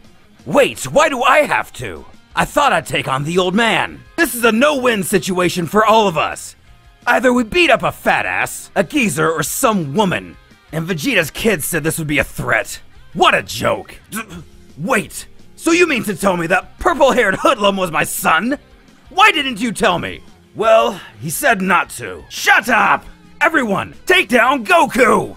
Before the Saiyan warriors could squabble any further, the blonde cyborg rammed into Goku, who just barely had time to put up a guard and begin to take her on, realizing she was stronger than him, yes, but not by any amount that made the fight too dangerous for him. Turles was attacked by Android 20, which tried to drain his power almost instantly, and being unaware of this technique, Turles unfortunately gets caught up in the attacks of the android. A similar situation happens to Raditz and Vegeta, but after Raditz sees it happen to two other people, he is smart enough to avoid the hands of Android 19 and kicks the fat android away, deciding to try and help Turles out ASAP, while telling Vegeta to avoid Gero's hands. That said, the Saiyan Prince is no coward and allows Gero to grab both of his hands, before doing exactly what he did to 19 in canon, and tears Gero's hands off completely. The mad scientist, however, is not off put by this, as he had planned for this. This is exactly why he tried to overpower his alien opponents with numbers instead of power alone. He orders everyone to converge on Goku, and soon, all four androids are on top of the orange-clad Saiyan warrior. Gero, though handless, shoots an eye beam that pierces Goku's side and slows him down, as 19 and this timeline's Android 20 both grab him and begin to drain him heavily, as 18 absolutely beats down on him. The situation looks extremely dire as Vegeta and the other Saiyans rush to help their comrade, but they're passed by the form of Gohan, as he flies forward and actually flies through the form of Dr. Gero, and with a single punch, takes off Android 19's head, that's right, because of his potential as a hybrid Saiyan and his full three years of training, Gohan is actually the strongest Z fighter at the moment. Vegeta and the others are then able to get Goku out of harm's way, but 18 is able to grab Vegeta by the leg and swing him around harshly. He begins to thrash him back and forth continuously, and Gohan and the rest of Z fighters step in to help. But 18's new Vegeta back was an effective weapon, and everyone was beaten down. Goku swallows his pride and tells Vegeta they have to get out of there, and the prince, while being swung around, realizing his leg was not only broken, but completely out of the socket and useless, has no choice but to agree. He uses in transmission and is able to escape 18's grip, and is nice enough to get a few of the Z-Fighters to grab onto him before using instant transmission again to escape to a safe place, namely being Capsule Corp, since it was where he lived. Goku takes the rest of the Z-Fighters to the lookout, where Krillin gives everybody senzu beans, and after a bit, Vegeta arrives there as well, hoping to get a senzu bean from Krillin. Back with Dr. Gero and his androids, he decides they need to further pursue the Z-Fighters, but first, tears his brain out of his current body and has Android 20 put it in his, With resulting in Gero now being stronger from Goku's energy and having a brand new body. With that done, Gero and 18 fly away to pursue their prey, but they miss two things. Number one, Bulma and Baby Trunks are still on the cliff overlooking the battle. And number two, Future Trunks arrives on the cliff from his time machine, sees the huge crater with bits and pieces of Android here and there, and then asks his mother what the hell had happened here. Bulma fills him in, but when she is done, she mentions that she didn't know Dr. Robo was one of the androids, and this makes Trunks gawk. He looks at her and asks what she meant, and she explains who Gero is, and mentions she thinks she knows where his lab is. Trunks instantly barks at her to show him, and he grabs her, blasting off towards where she directed him. Back with Gero, he makes a decision to decrease 18's power dampening to only 7% of her total, because based off his surveillance, Goku would always get stronger after taking extreme damage. On the lookout, Goku begins to rack his brain for a plan before Kami suggests that he make use of the Room of Spirit and Time again, as he removed the two day limit on it. Yes, a full day might be too long, but at this point, the group was in dire straits and they needed what they could get. Goku agrees to this, and he grabs a few senzu beans from the massive bag, throws the rest of them to Raditz, and tells him that he was in charge, before taking his favorite training partner, Vegeta, into the Room of Spirit and Time to try and grow stronger than 18. Note that Goku does not take Gohan because as the strongest, someone needs to be there to fight 18 if she begins to cause more trouble. Raditz and the others are left with few other options, but before anything else, the long-haired Saiyan decides he wants to go out and check on Snake, Zuccho, and Chi-Chi to make sure that they were okay. He then flies out to Mount Paozu where he had built his own home, Turles and Gohan close behind him. They arrive and see that everything is fine, but Blonde Launch was also there, claiming to be protecting the women, and young Zuccho, who at age 3 was already walking and talking. Interesting enough, Launch and Turles don't get along very well, and as usually, they begin one of their famous arguments, with Launch calling the man a knockoff Goku. This connects two wires in the brilliant tactical mind of Raditz and gives him an idea. Turles and Goku could be twins, and Goku was Gero's main target, to his knowledge at least. He asked Chi Chi to bring him one of Goku's gis, and let Turles put it on, for telling Turles to follow him, and for Gohan to stay here to keep everyone safe.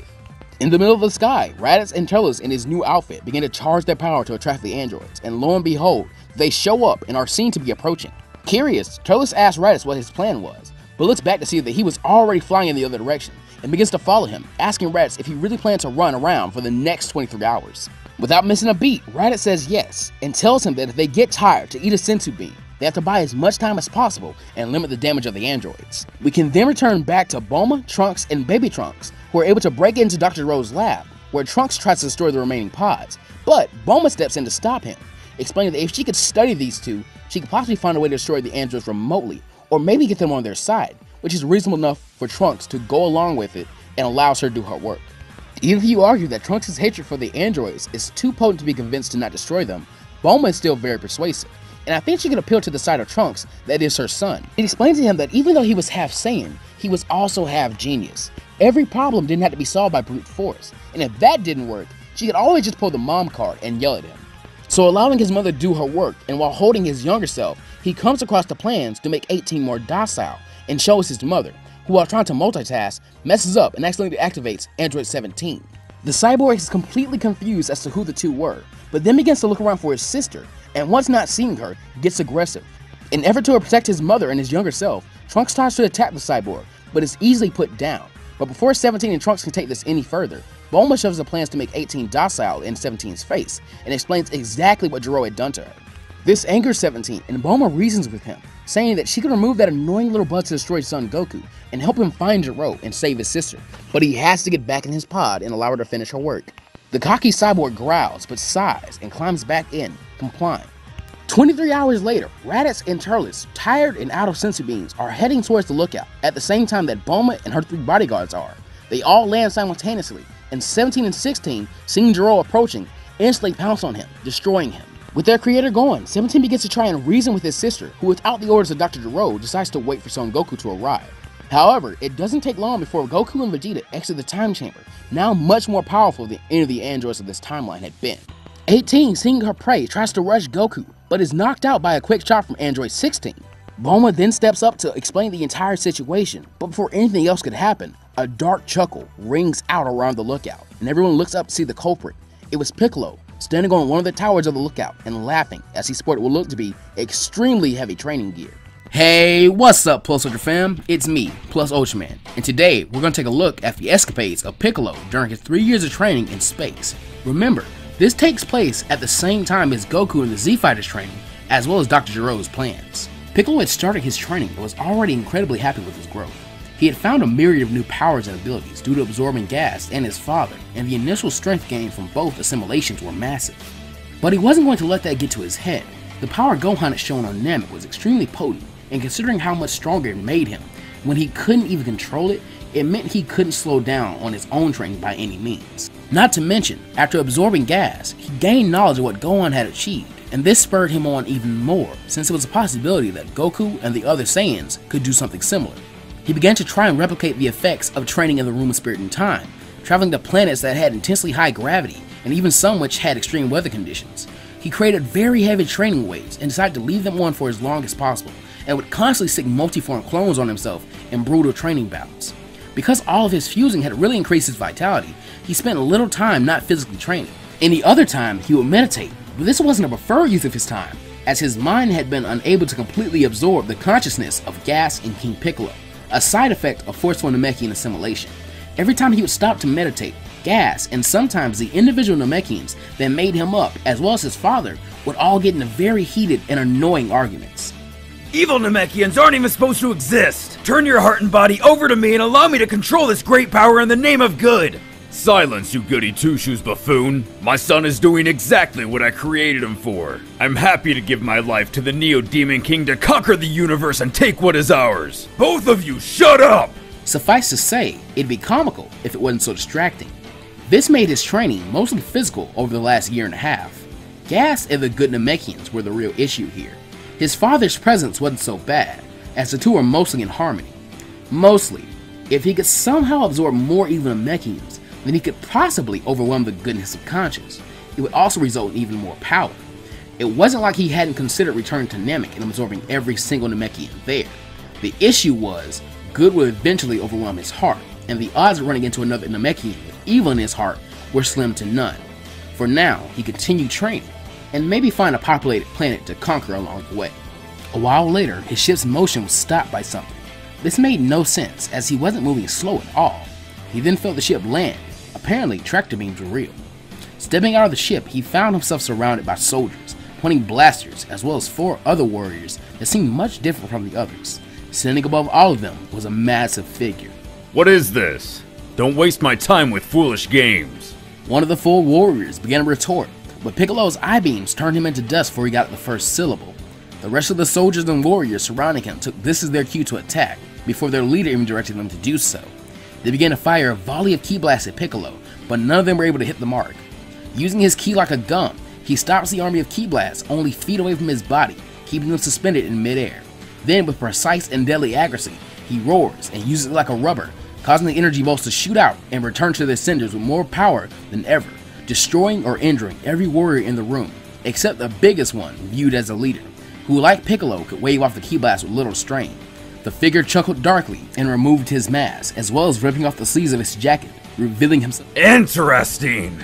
Another Super Namekian with evil in his heart. We're a rare breed, you and I. Why not fuse with me, kid?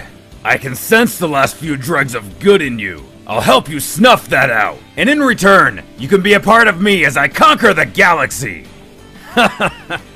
Thanks for the offer, old man, but I'm afraid this universe and all its spoils are mine by birthright. I'll take your power and influence for myself, though. And with that, the two evil Namekians clashed inside the ship.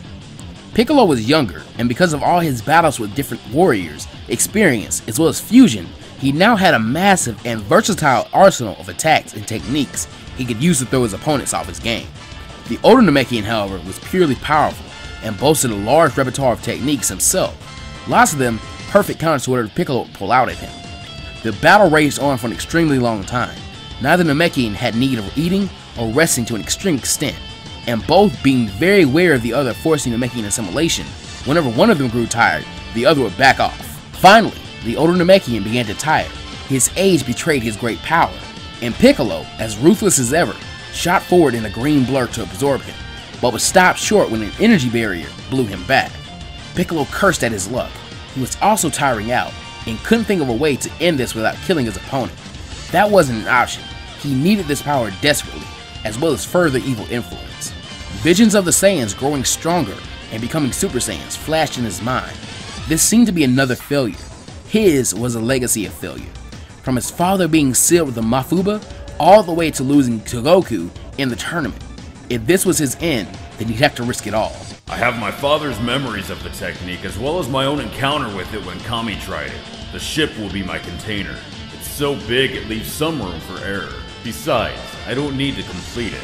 Just throw him off his guard for a second. With his last ditch strategy finished, the younger Namekian rushed his opponent, a fierce battle cry relieving him. The other Namekian again activated his barrier, still not ready for another round of close combat. Just before Piccolo is about to make contact with it though, he stops on a dime and spins while yelling, Evil Containment Wave! The technique was clumsy and unpolished, but it pulled the older Namekian off his feet and into the air in a green spiral, shooting him towards Piccolo's ship. The technique petered out just before he entered though, and when he turned to reface Piccolo, he was horrified when the younger Namekian was already on top of him, capturing him by wrapping him in his arms and activating the Force Fusion.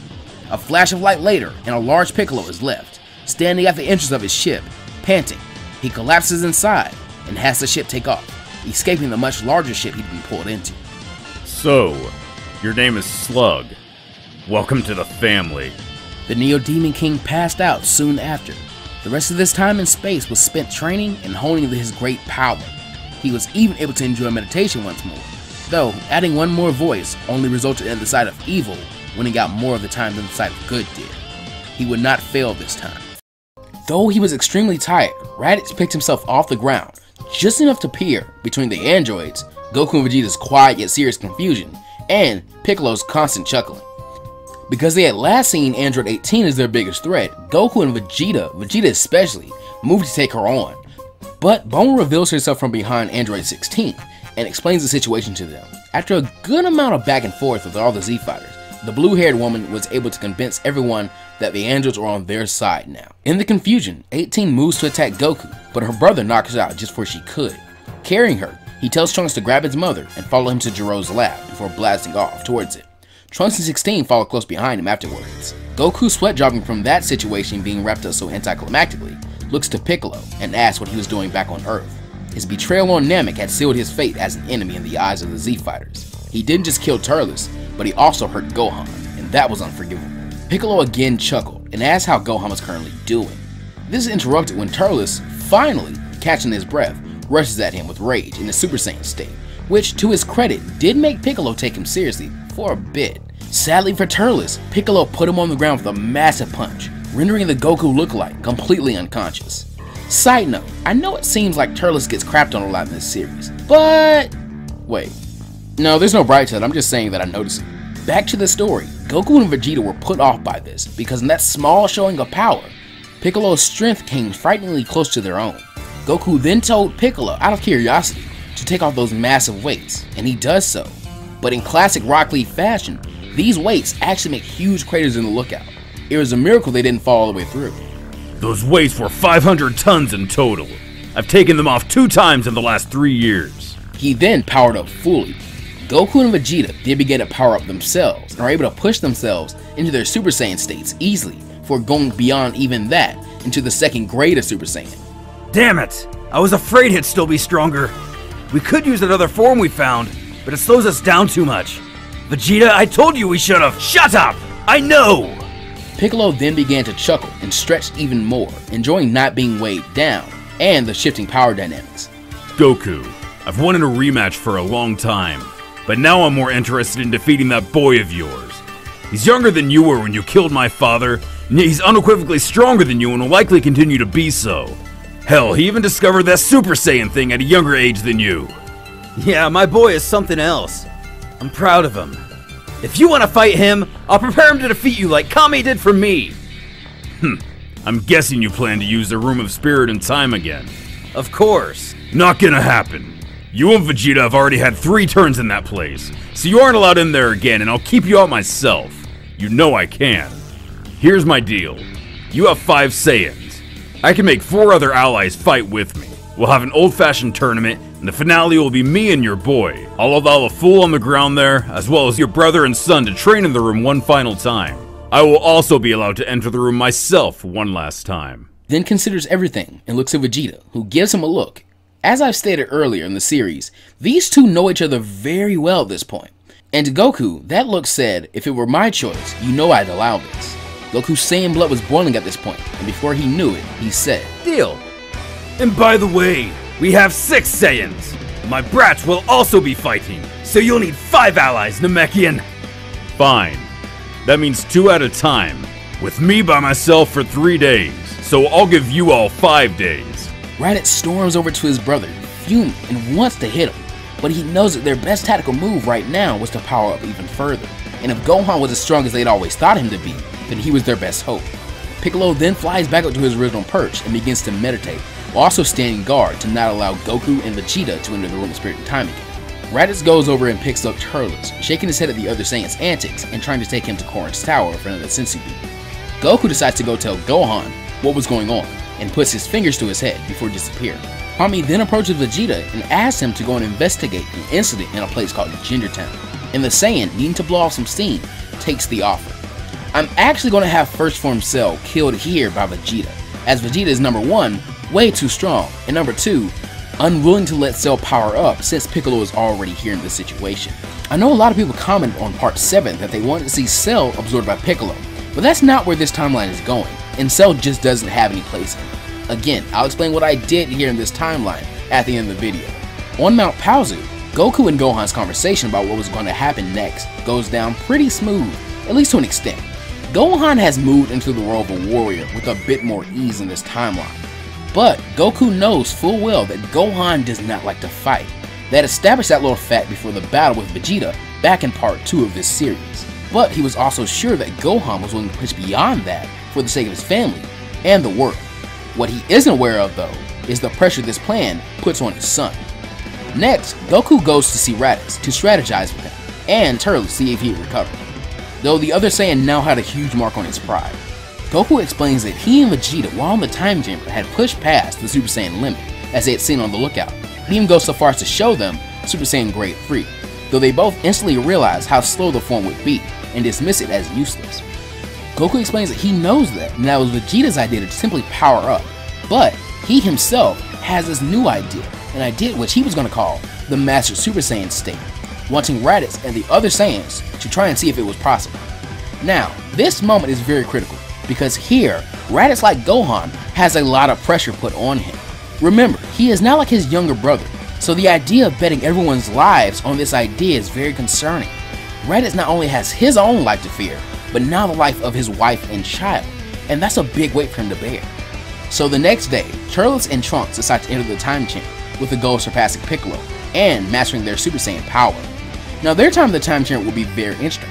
Turles along with future Gohan had trained Trunks in the future, so he is already attached to the older Saiyan, while Turles has no emotional connection to Trunks whatsoever. This kind of makes Turles reflect on something he's noticed as of now. He was apparently pretty good with kids. Gohan and he got along famously, and the way Trunks looked at him with so much respect, apparently his future counterpart made a good impression on this kid as well. Even Raditz's son Zuccho loved his uncle Turles. Maybe he'd settle down and have his own kid sometime. But for now, he felt a desire to take Trunks under his wing, help him become more Saiyan-like. This could help reduce the strain on he and Vegeta's relationship as well. Their training goes very well since Trunks, having already learned from Turles in the future, is very quick to learn from his teaching style. After 24 hours, they are able to complete both their goals, and even plan to take on Piccolo now, since it'd be easier to do so, and would save everyone a lot of trouble. But Goku and Vegeta stopped them as soon as they exited the time chamber, already expecting this, and explaining that they gave their word. Turles and Trunks cursed this, but accepted. Like I said, Trunks had learned some more about Saiyan culture, so he understands a bit more about his father's pride in this timeline than he does in canon, and he's able to accept it a lot better. After seeing the results of the Master Super Saiyan state, Raditz can see that Goku's plan does work, which relaxes him somewhat, but he soon realizes that Piccolo would also be training, so he couldn't relax just yet. Gohan was just happy his father's plan could work, but he would be lying if he said he didn't want Trunks to go through with his attack on Piccolo. Once in the room of spirit and time, Gohan realizes he's in for a very tough year, as the stressed out Raditz made the training very brutal. Much like Raditz's original plan to train Goku and Gohan in part 2, he would make Gohan train constantly, only allowing him to sleep when he was absolutely exhausted and could barely even move. Any time not physically fighting would be used for image training or strategizing. Because of this, the training is tense and it puts the two warriors at each other's necks in terms of a very tense situation. See, at some point, Raditz stops seeing Gohan as his nephew that he loves and more as a weapon that he has to use to protect his family. Gohan can sort of see where Raditz is coming from and why he's so high strung, but it's grating on him a lot. Something this Gohan would actually struggle with a lot is his identity as a Saiyan and a human. He looks up to both his father, the Earthborn Saiyan, and his uncles, the Vegeta-born Saiyans. So he's often in conflict with himself about which course is better for him. And right now, the Saiyan course is not shown the best light, especially because of how Raditz is pushing him to try and be more of a traditional Saiyan. This was so he could try and pull out some of the natural ferocity that all Saiyans have. However brutal and intense it was, their training does render some pretty good results, and later on, the two exit, being extremely powerful in their own right, much stronger than what Goku had hoped for them to get. Seeing this, Piccolo is only excited and instantly enters the room to begin his own hardcore training. Outside, Raditz decides he wants to go spend the next few days with his family, but tells Gohan that he will meet up with him later on for sparring and some strategizing before he flies away. Gohan stays with his dad to see how strong Piccolo would get once he exits the time chamber, and the two speak about the harsh training that Gohan just went through, with Goku trying to get Gohan to relax a little bit, but it does not work at all. Finally, Piccolo emerges a day later, and the gap between Gohan and Piccolo's power had indeed widened, but it was in Gohan's favor. That said, he still had those heavy weights on, so it couldn't be his full strength, and this was confirmed by how confident Piccolo was still, even though he could sense Gohan's power. He only smirks at Goku and tells him to keep his word before flying away from the lookout. The next two days aren't full of relaxation though. Goku encourages Gohan and Raditz to do so, but they just keep training, busy and stressing themselves out even more, to the point where Goku steps in to put a stop to it, and it's decided that they would just rest for the last day to make sure that no one was too tired before they had to go to the fight. On the day of Piccolo's tournament, the Z Fighters meet in the Wasteland, where Piccolo had apparently made his own tournament arena that resembled the World Martial Arts Tournament Stadium.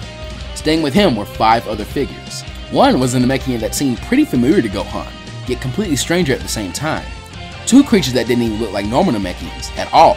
A very big burly Namekian no one recognized, and one tall Namekian with a savage sneer that Goku remembered all too well. Piccolo gives a quick explanation that after absorbing his father, he gained the ability to create children like he did, though most of these Namekians were based off his past conquests, such as Nail and the one called Slug. And just because the Six Saiyans were the combatants for the side of good, that doesn't mean that they were the only ones in attendance. The androids, all missing their bombs and with 18 back to normal, as well as the human fighters had shown up, but they're all told to stay out of the fight or Piccolo would show them no mercy. Piccolo explains that a ring out was considered a loss, though flight was allowed, though if one to hit the ground or leave the confines of the arena, it was a loss. The ring was incredibly strong, so it'd be hard to damage. Wins could be attained by knockout or death, and he sends in his first competitor, Tambourine, who is now about as strong as second form Cell in canon. Even though he is much stronger than Tambourine, Turles was the one to step into the ring. He, more than anyone, wanted to tear through Piccolo's minions and get a shot at the big boss himself. Piccolo mentions that he forgot to explain that every fighter is allowed one match. The only person he's interested in is Gohan, so this was all pretty much just a game to really enjoy his victory. Turles, once again being made a fool of, curses as he's wasted his power on the weakest of the enemy. And considering he, along with Trunks, Raditz, and Gohan, were the strongest of the group, that wasn't a good thing. He yells bloody murder, and as soon as Tambourine enters the ring, he is cooked alive by Turles' kill drive, and the Goku lookalike turns on his heels and exits the ring, plopping down on the ground almost angry enough to blow up the planet. After seeing his comrade reduced to dust, the Namekian drum steps forward, but he's pulled back by King Piccolo, who is the first of these offspring to speak and show some cognition. He calls Goku out by name, and Goku can sense that he is about half as strong as the actual Piccolo. The only one stronger was the big Namekian Slug. Never a coward, he enters the ring against Raditz's wishes, but Goku explains that he has a plan. As soon as the match starts, King Piccolo, not underestimating this kid again, rushes Goku. He expects to outpower him, but just as he gets close, Goku closes the distance and bulks up to the Grade Three Super Saiyan form, allowing him to land a devastating blow on the opponent, right in the midsection. Goku's strategy was to play defense as a regular Super Saiyan, and when seeing an opening, attack as the Ultra Super Saiyan. And finally, with his might, he is able to drive a fist through Demon King Piccolo's torso and tries to throw him from the ring, but the hole closes up and the old king is able to swing Goku out of the ring. Goku is devastated at this loss, but takes it nonetheless. Next, Vegeta steps in the ring, letting his pride get the better of him. He directly calls out Slug, the strongest of the offspring. The burly Namekian begins to chuckle and walks towards the ring, as Raditz tries to get Vegeta to switch with him, but the Saiyan refuses, and Piccolo shuts the idea down, as Vegeta had already entered the ring and therefore was the next participant. Slug didn't waste any time and grew to a huge hulking size, deciding he'd crush the prince like the bug he was. But Vegeta thinks quick and like Goku before him, bulks up to the Ultra Super Saiyan, making Goku yell out that it wasn't worth it for a few lucky hits and to go for a ring out. Vegeta only laughs at him and tells Goku that he thinks too nearly and catches the stomp of Slug. Vegeta is holding the massive foot up with a lot of strength and Slug is just taunting him. He knew his victory was afoot. Get it? Afoot? What he doesn't realize is that Vegeta's hands are in a certain position, and the prince roars out, Final Flash! A bright yellow beam shoots through the Namekian's leg, making it explode in green gore, and Slug screams in pain. Vegeta flies up and lands a good nice hammer fist right in the large Namekian's face, and this, with his balance already being stripped from him, causes Slug to fall out of the ring. Vegeta had won. Trunks sighs enters the ring next. Of the two Namekians on the other side, one refused to move, the one known as Nail. Drum, the other Namekian, growled at him and began to move forward to walk into the ring. But Nail raised his hand, and in a flash, Drum was little more than a pile of dust, shocking Piccolo and the others as the Namekian had shown free will. Nail then looks to Piccolo and smirks, telling him that Gas had warned him all the concentrated good of four Namekians couldn't be snuffed out so easily. He was that good, and more importantly, he sensed that good still somewhere inside Piccolo. Piccolo scoffs at this and raises a hand to destroy the Namekian. But before he could, he's hit in the face hard. It was a snarling Gohan who did it. He ordered the Namekian to fight him now, and Piccolo was all too happy to accept as the two enter the ring. This was it, the fight of the century, the spawn of the Demon King versus the son of the universe's savior. The two squared off for merely a second before Gohan came charging in with a savage snarl on his face. Piccolo, growling at this, shot his eye beams, but Gohan only batted them away and rammed into Piccolo's midsection, trying to drive him out of the ring. Piccolo expertly swung, and Gohan was sent flying away, out of the ring, just barely able to keep himself from touching the ground and being eliminated himself. Before Piccolo could warn the boy to fight like a warrior and not an animal, Gohan was already charging at him again, this time landing a solid blow and capitalizing by following up with another and another, more and more until the hits became almost hard to look at, especially since Gohan was crying while he savagely beat down on Piccolo. While this was happening, Trunks went to work on killing King Piccolo and Slug, which wasn't extremely hard, though he decides to spare Nail as the Namekians seemed to be on their side. Saiyan Pride was nice and all, but Piccolo had to be taken down. Before Trunks could enter the ring, Nail asked him to wait. He could currently sense more turmoil and darkness in Gohan's heart than Piccolo's. At the moment, it felt like Piccolo, for the first time in his life, was doing something for the good of someone else. Thankfully, Piccolo healed very well with the increased vitality from fusing so much, and he erects one of Slug's barriers, knocking Gohan away from him. The kid was almost crying tears of rage as he surged at him once again, but Piccolo took off his weighted gear, throwing it at Gohan, who had to avoid it at the last split second. This allowed Piccolo to land a devastating kick to Gohan's side, making a loud crack ring out as he definitely broke his arm, or maybe even worse. The kid writhed on the ground in pain for only a bit before pushing himself back onto his feet with his now messed up arm, probably doing even more damage to it. He was angry, he was stressed, and he was exhausted. He wanted to hurt Piccolo. He roared out, and his power exploded like never before. He then rushed Piccolo once again, still attacking his opponent mindlessly. Though hopelessly outclassed in terms of power, Piccolo was dodging and weaving around Gohan perfectly. He could read him like a book, and he didn't like this chapter at all. Gohan was trying way too hard. He was trying to please someone else in this fight, not himself. There was so much turmoil in his mind that the kid didn't even realize he already far surpassed Piccolo. He just didn't have any control over himself. He'd probably done more damage to his arm by trying to power through the pain than he would have just by not using that arm. Finally, he grows sick of seeing the kid he viewed as a prodigy reduced to a savage beast and slugs him in the stomach, doubling him over and winning him, finally allowing Piccolo a chance to speak. He knew what Gohan was trying to do. He knew what he was going through because he too was trying to be what someone else wanted him to be. And in the end, it didn't make him happy. This wasn't the battle he wanted. It was probably his own fault that it turned out like this. If he learned anything, it was that he had to be his own man, not the Demon King or Slug. He had to be who he was, Piccolo. And Gohan needed to be Gohan. That was the only way to live freely. Hearing the wise words, Gohan finally catches his breath and wipes away his tears with his good arm. Piccolo announces that this will be their final clash and begins to charge with a big Masenko. Gohan could tell that his heart wasn't really in the attack. Piccolo was just as tired as Gohan was, and he wanted to rest. With one arm, he reared back to charge of a Kamehameha, and the two released their blast. The clash of yellow and blue lasted for only a few seconds before Piccolo was consumed by Gohan's attack.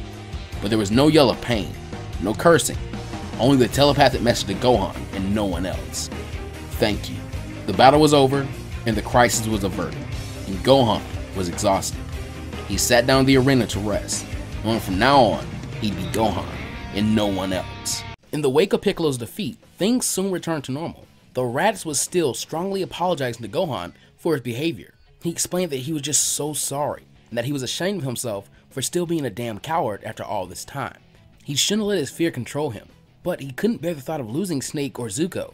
That said, it wasn't an excuse to put all that pressure on Gohan. To his great surprise, Gohan only shakes his head understandingly and hugs his uncle with his good arm. Gohan chuckles and agrees that that was not Raditz's best idea.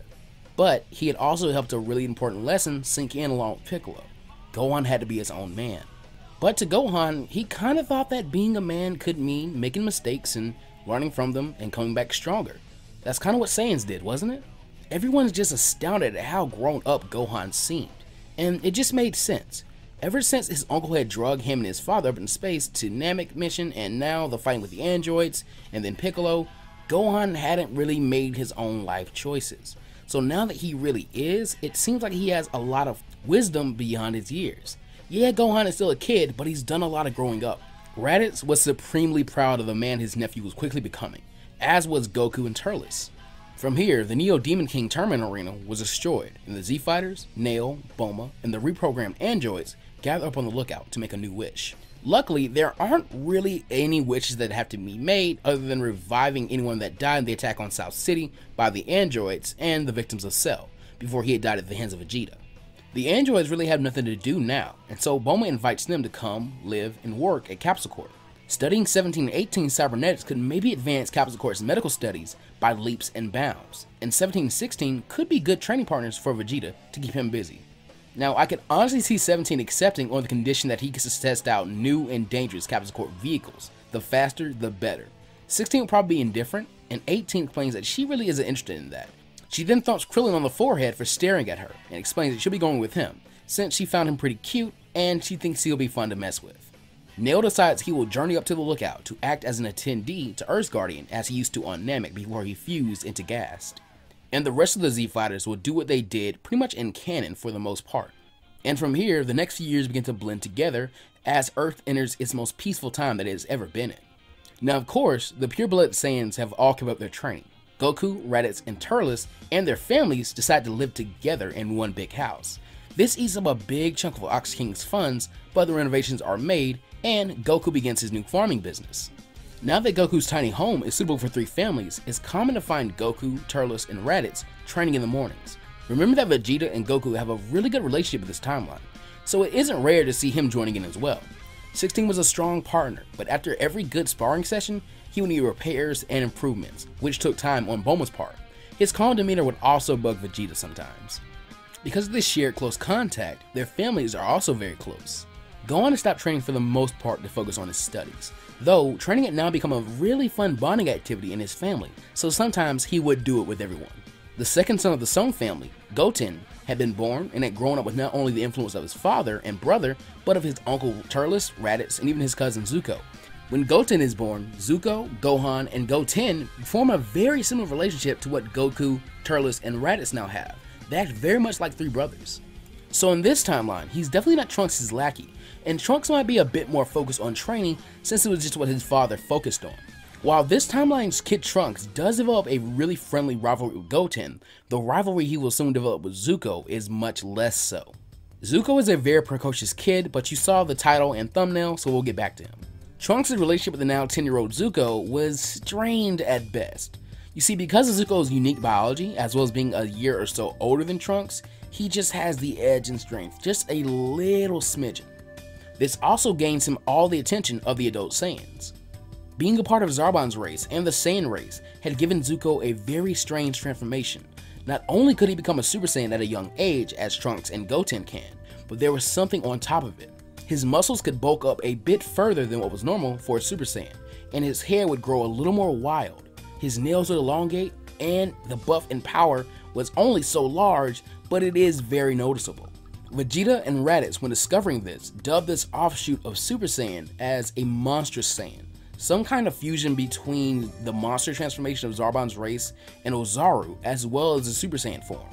Now, full disclosure here, I've never really thought of a solid multiplier for this form. I'm walking a tightrope here because I don't want to make Zuccho some Mary Sue, but at the same time, I want this to be a worthwhile boost for him. I think Zarbon's transformation only makes him like 1.3 times stronger, and I don't want to give Zuccho a full 10 times from the parts of this that are a part of Ozaru. So maybe his Super Saiyan is worth a 56.3 times multiplier, and if you guys have any good ideas, then definitely let me know down in the comments below. Raditz is extremely proud in his son, and very intrigued in this power he has, while Vegeta was just as intrigued and want not only to see this power of Zuccho pushed to its limits, but also to push Trunks to further compete with the older boy and this is the root of Trunks' resentment towards Zuccho. And because of this, Zuccho very quickly comes to resent his father, and in a way, the world. See, Zuccho is the only person that has to deal with looking different from all the other normal humans around him. Yeah, we used to have the animal race people that looked really different like the Dog King and Oolong, but these character designs slowly slide out of the series, and it quickly becomes to be more, you know, human looking character designs. So all the civilians and background characters are very homogenous. So seeing Zuccho's blue skin, reptilian eyes, and freakishly long orange hair always gets him stared at and whispered about. Zuccho's mother, Princess Snake, would also be looked at this way, but she didn't seem to care. She had spent a long time in Otherworld and had been stared at before. In her own words, she was just too mature to let the opinions of men that were not named Raditz affect what she thought of herself. So in that, Zuccho loses a lot of solidarity in his mother not really sharing his plight. This all culminates in Zuccho finally rebelling. He actually goes to Bulma and asks for the Dragon Radar, and when she does not give it to him, he steals it and spends the day collecting the Dragon Balls. Once done, he uses his one wish to ask Shenron to make him look like everyone else and allow him to maintain his powers, and the wish is granted. When Zuccho finally returns home, Raditz and Snake are furious at him. What are you thinking, Zuccho? You can't just change who you are! But it isn't fair, Dad! What would you even know about what it's like to look different? Uncle Goku, Turles, and you all look normal. So do my cousins and Trunks, and he teases me all the time. I just want to be normal. Okay, first off, have you seen my hair? Secondly, this is not about how people look at you. This is about how you deal with your problems. Not to mention that by trying to look like somebody else, you're rejecting your mother and how she looks. I used to be a coward, son, so I ain't raising one. From now on, you and I will train every day until Shenron is ready to grant a wish, and then you are going to change rights back, young man. Am I clear? Yes, sir. And so, one year of very rough training took place for Zuccho. Afterwards, his power had grown, and so had the darkness in his heart. Raditz tried his hardest to bond with Zuccho and understand his plight, but he was a Saiyan, and his emotions were always hard to grasp. He had learned from his debacle with training Gohan and had done his best to try and help Zuccho express those negative emotions and have an outlet for them. He even tries to help Zuccho center himself through meditation, but nothing seems to work. Zuccho is just too hung up on his appearance to move past this. As for the other characters, as many people have predicted in this timeline, Turles finally finds love in the form of Launch. Though it is definitely one of those playground relationships where they bully each other to express their attraction to each other. And it is a very new relationship, only having taken place about a year ago, meaning that Launch has not even had a child yet. Also, remember that Piccolo didn't present himself to the world as Cell did. No one knew of Piccolo's threat to the Earth, so Hercule becomes the champ, but he isn't as well loved and his daughter Videl would likely grow up without the same amount of training and as such she might not become a crime fighter. It's possible to argue that she would, but this would also mean that if Gohan does attend Orange Star High School, which he likely would, and begin crime fighting, Videl likely wouldn't care too significantly. There's no real rivalry between them there, but I do think that they would be attracted to each other just because of who they are. If this were to happen, then Gohan would never be pushed into the tournament by Videl, and because of this, no one else really enters it. I believe that at some point, Supreme Kai would approach either Goku or Kami and Nail on the lookout to ask them for their help in a coming problem. This video was sponsored by Crimson Manifesto, Knuckles OX, and Jopi. Hello everyone, and welcome to the official 5 year anniversary of my channel. If you scroll all the way back far enough in my career, back to August 26th of 2018, you'll find my first and most clumsily made videos at the time. The first of which being my take on the scenario of Goku taking Raditz upon his offer to join the Saiyans. I won't be recapping here for the sake of time, but I have included links to the original story up till now in the iCard description. So if you'd like to brave the older stuff and catch up, feel free to revisit that first video of mine when you do. Fair warning, the story is admittedly flawed, but regardless, I have some pride in it being my launching point, and I still think the story as a whole bears multiple strong moments of storytelling. I admittedly used to have lots of issue taking criticism with the story, but now looking back, I'm harder on it than anyone else probably, hence my ability to poke fun at it and still try to get a good story out of it to end it off, because I think I can also notice issues better than most. And the number one issue in my opinion is that the story simply has too many competing ideas which could hold their own scenario extremely easily, if not all having multiple what ifs within themselves just as prompts alone. If you break them down, those being, what if Turles was canon or turned good, what if the Dragon Ball Zero fan manga was canon, what if a bit of filler slash games were canon with a reference to the video games featuring Princess Snake and Raditz getting together? What if all movies were canon pretty much? And, most obviously, what if Raditz survived to turn good? So noting that, as I try to bring the original run of this amalgamated concept to a satisfying close, I'm also letting you know to be on the lookout for my takes on some of these individual ideas that also deserve more focused explorations in the future. Kinda like my take on what if Pigoro was canon as a more focused take on that one specific filler character touched on in the first what if relay. Both of those are also linked in the iCard description for you to check out by the way. For now, make sure to do the usual YouTube stuff. Grab a snack, sit back, relax, and enjoy the show. As it's finally time for the finale of What If Goku Joined Raditz, the Foe Tournament, Zuccho's Rebellion, and the overstuffed finale.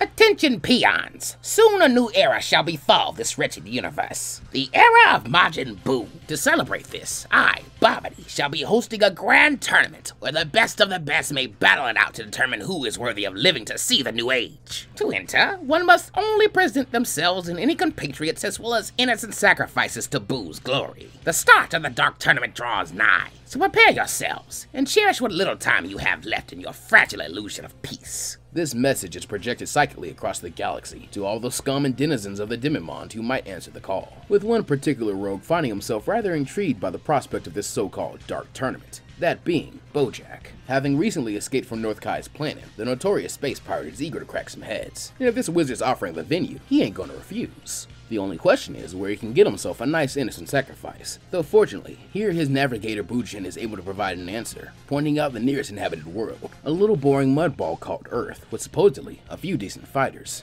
Perfect. Touching down in a secluded canyon, Bojack's crew do not even need to scan for power levels, as at the moment, three moderately strong ones are flared, clearly being in the midst of a battle. Following them to their source, the rogues find that the fighters are children, two of whom appear to be Saiyan, while the third is shockingly a Hair Clan member like themselves from the looks of it. No matter, if they're gonna grab them, they gotta grab them all, since they can't afford to raise alarms anyway. Pouncing on the brats just when they are beginning to tire from their petulant sparring, it is child's play to subdue them and return to the ship, no one the wiser to their heinous deed. However, this is less a testament to their strength as it is to the fact that at the moment, Mount Paozu and specifically the Son clan find themselves with a different set of guests, those being the Supreme Kai and his attendant Kibito. It seems they too have heard of this dark tournament and have come to enlist the hero's help, being familiar with their work from their battles with the Cold family and the Neo Demon King Piccolo. Always up for a fight, Goku, Raditz, and Turles are more than happy to partake, even if they are a bit iffy on the whole innocent sacrifice part, though Gohan is forbidden from joining them since he has school and isn't allowed to be pulled out for a silly universe-ending conflict. Figuring Vegeta would also be a good candidate, Goku gives Bulma a call, though it seems she has bigger things in her mind, having just received a notice that Trunks' capsule phone has been disconnected from service, meaning either he's been hurt badly enough to damage a phone that can survive Vegeta's training, or he's left Earth. And if he's in either of those positions, it's not a stretch to assume Goten and Zuccho will be too. Furrowing his brow, Goku tries to sense their energies, quickly confirming that they're not on Earth anymore, and wherever they are, they're too weak to sense. Understandably, this worries Bulma, who snaps at her old friend and to her husband to find her son, while in his other ear the Saiyan hears Chi-Chi and Snake repeat this sentiment, just as forcefully. Brusquely, Kibito tries to return the topic to the threat of the Dark Tournament, though this is a rather poor choice, as in venomous tones, Chi-Chi informs the Kai that the biggest threat right now is her to whoever took her baby boy, and anyone who stands in her way of getting him back. In a conciliatory tone of his own, Shin suggests that what Kibito meant is they were likely taken as the entry fees, so to speak, for the Dark Tournament. Before coiling a little under the matriarch's glare, she is at him to explain. When Shin is done, Chi-Chi looks about ready to either pass out or explode, though before she can do either, Snake, who feels the same as her sister-in-law, states that their sons are being taken to the tournament, then she'll make sure to get them there too. Briefly, Shin attempts to explain that they don't actually know where it's being held, Though eyes flashing with determination, Snake retorts that's because he's a good little Kai, with good little Kai sources of information, whereas she has spent long enough adjacent to Hell that she made a few shadier contacts who might just be perfect for this sort of situation. To this end, she sets to work, using Goku as a transmitter to King Kai, who can in turn put her in contact with her friends in Hell. After a brief conversation, the former princess of Snake Way reveals the tournament is being held on planet Zune in seven days, meaning they don't have a moment to lose.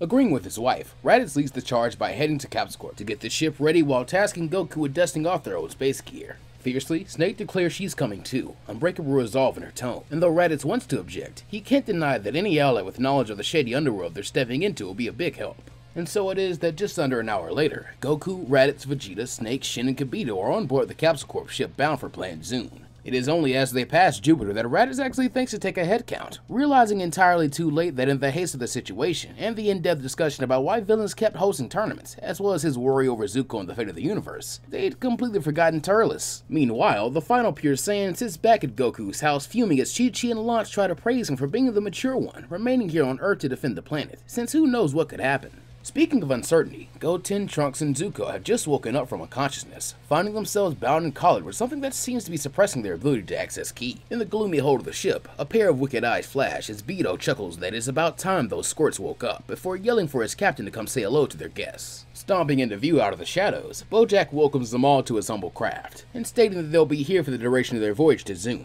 at which point he's afraid it'll be the end of the line for them. Or at the very least, it will be for two of them. He then turns his grin on Zuccho, saying that he could be spared this fate though, if and he's willing to join his crew, since it was only right that the head agents stuck together, even if Zuccho had weird looking ears. Angrily, Trunks declares that even Zuccho's not stupid enough to take that offer, but in a desire to be free, while also spiting his longtime bully and rival, Zuccho accepts, much to the other boy's shock. Calling him a good lad, Bido cuts Zuccho's bindings before removing his collar, while Bojack gives him the tour, excited to have what he perceives as a young head agent on the crew after so long.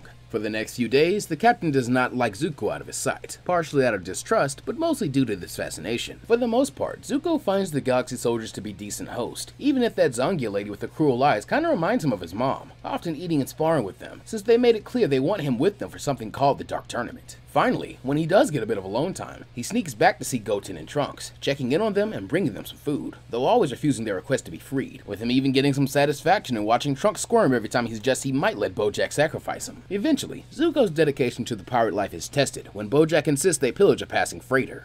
Though he had told himself he was only doing this to be free long enough to make an escape plan, when the boarding begins, he feels his blood rush like never before, unleashing his full powers against their victims, and being praised for it in a way his parents had never done. He even wonders if this might have been how his dad felt back in the day. He feels good, seen, respected. After this, it becomes much harder to convince himself that this is a ruse, or even that he wants it to be, with him being the ones to suggest they take the freighter crew as sacrifices for the tournament, figuring he at least would like to help his cousin Goten weasel out of his dire fate. Unfortunately, this is less successful than he had hoped, with Bojack taking the prisoners and declaring that he'll still sell the other boys to the wizard hosting, since in their line of work it never hurts to pick up a bit of extra loot. Finally, the Hera and crew arrive on planet Zune where the creme de la creme of scum are all gathered, handing over their new freighter prisoners to be sacrificed. The newly dubbed Team Bojack are granted entry to the event, taking their place in the pits to await their opening fights. Up above, Bobbity watches all the fighters along with his guests, Hoyo Kanats, Garlic Jr. of the Makio Star, and Commander Sorbet of the now defunct Frieza Force. As the current four biggest names of the galactic underworld, they have all gathered together to spectate and make exorbitant bets on the outcome of the fights. Not that it matters to Bobbity, as he has something far grander than money in mind. When the last sacrifice to Boo is made, Bobbity calls a start to the fights, while at the same moment, the Dragon Team sneak in, with the Saiyans and Snake knocking out four fighters and taking their places in the matches. Having run the gamut of the galaxy's worst, these early fights are nothing to the heroes, though they do come across a few interesting new faces, like a noble swordsman named Tapion, who is apparently only here to find a way to prevent the revival of a monster of his own, and a purple alien with a chilling resemblance to Frieza. Snake even manages to show that her training on Raditz is paid off, as she's able to take out Zangya, showing no mercy when she sees the woman seemingly guarding Zuccho from leaving, though the real action begins when Bojack is paired up with Raditz. Furiously, the long-haired Saiyan orders the pirate to release his son and the other boys. Though giving a belly laugh, Bojack retorts that he can have the others if he wants to rescue them from the wizard's chambers, but Zuccho is one of them, having joined of his own free will, so he stays. Rage only growing at this creep trying to come between him and his kid, Raditz responds with a punch to the pirate's jaw, now in Super Saiyan 2, though still, Bojack laughs, meeting this transformation with his super full power Harrigan form. This quickly devolves into repeated intense high-speed clashes, with the energy from this fight alone being more than enough to reawaken Majin Buu from his slumber. Bursting from his egg, the Majin's first instructions are to destroy the trio of underworld kingpins, giving Bobbity unrivaled dominion, before being unleashed on the fighters down below permission to wipe them all out if it amuses him. Despite his bravado, as the first sign of Boo, Bojack is smart enough to flee, using his crew as meat shields to cover his escape. This quickly disillusions Zuccho to any notions of Bojack being anything more than a coward, and so wanting to right the wrongs of his recent jerkish behavior, he uses the chaos to sneak into Bobbity's chambers so he can save Trunks and Goten. This in turn puts him into direct conflict with Demon King Dabura, who is serving as tournament security. And though he cannot beat the Demon King alone, when Trunks and Goten see that Zuccho is fighting for them, they encourage him, with Trunks even coaching the other boy to use the Demon's Stone Spit to turn their college to stone, freeing them. Now all able to fight again, Trunks and Goten combine their powers as Zuccho's, managing to erase the Devil Man with a triple Kamehameha before rushing to join the others currently fighting against Majin Buu. Back in the fight, Buu has proven himself insatiable, even turning on his master and leaving him near dead, meaning it is up to the Z-Warriors to save the day. However, due to all this bloodshed, as well as the bit of chaos already stirred from Snake's attendants scouring and accidentally terrorizing the denizens of the heavens, this influx of evil souls causes a stir in hell, as the accident sees a young ogre accidentally becoming host to a well of evil energy, and producing a very similar chaotic monster to the one currently terrorizing the living universe below. Sensing this chaos, which to this creature seems like fun, the newly dubbed Janemba accesses teleporting abilities and soon arrives to make the acquaintance of Majin Buu. Boo. Upon seeing the other rotund menace, Boo cannot help but laugh, calling the pudgy yellow monster tubby and funny looking. But Janemba only seems to take joy in this, while everyone else is extremely confused, laughing and dancing so hard that he trips Boo up and causes him to fall, looking funny now himself. Of course, this angers the Majin, with this creating a chaotic clash between the two while the bystanders are forced to back away in order to not be destroyed in this cartoony clash, now all thoroughly confused feeling themselves the only sane ones of the group left. Cooler, Shin, and Raditz all share a similar inclination, that they should get the hell out of here, no pun intended.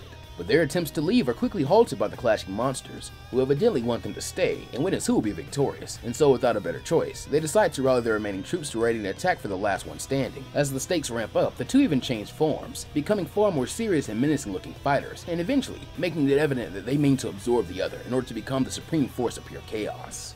Thinking this may be what his cursed life has continued on for, Tapion reasons Hirudegarn may actually be able to help here, subsequently relinquishing control over the monster to release it and therefore only make the battle even more chaotic, as Tapion is ultimately beaten back and forced back to his regular self, as Boo and Janemba see no issue in working together surely to get rid of this not fun guy as they call him. Unfortunately, this results in them conglomerating into a completely new force of chaos, who roars his name as Janembu. Thus, when Raditz and the rest unleash their combined attack, it is sadly only enough to destabilize this evil Jin Ogre into a goopy form as he regenerates casually, all hope appearing to be lost here. That is until Princess Snake pulls out an old trick, shifting into her snake form and coiling around Janembu to hold him down as he tries to heal, causing Zuccho and Raditz's hearts to freeze in shock, as their wife and mother battles the most dangerous entity in the universe by far for them. As such, they mean to rush to her aid, but Shin and Babidi hold Raditz back, as the wizard reveals a secret weapon to the Big Saiyan and Goku, asking the brothers to join forces one last time.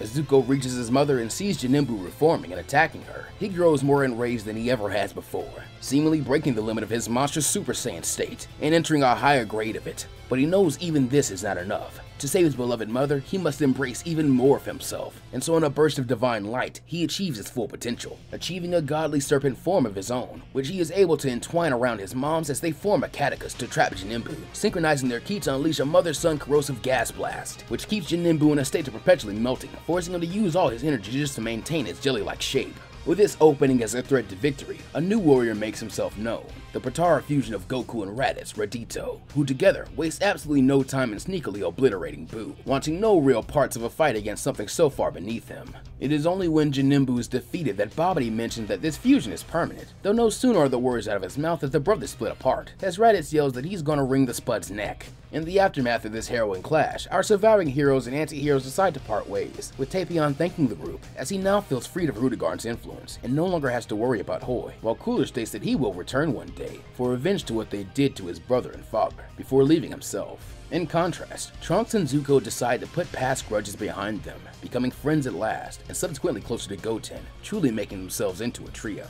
A week later, when the Z-Fighters return to Earth, they find the planet in minor disarray, with Kami and Nail seeming rather exasperated, while Gohan and Turles are obviously exhausted, having come off a big battle of their own. When asked about this, however, Turles is rather tight-lipped out of playful spite, simply jesting that he'd love to tell his best friend of his and Gohan's epic clash with the legendary Super Saiyan. But he's afraid that knowing Raditz, the other Saiyan would simply forget, and so this tale remains one for only those lucky enough to witness his glory firsthand.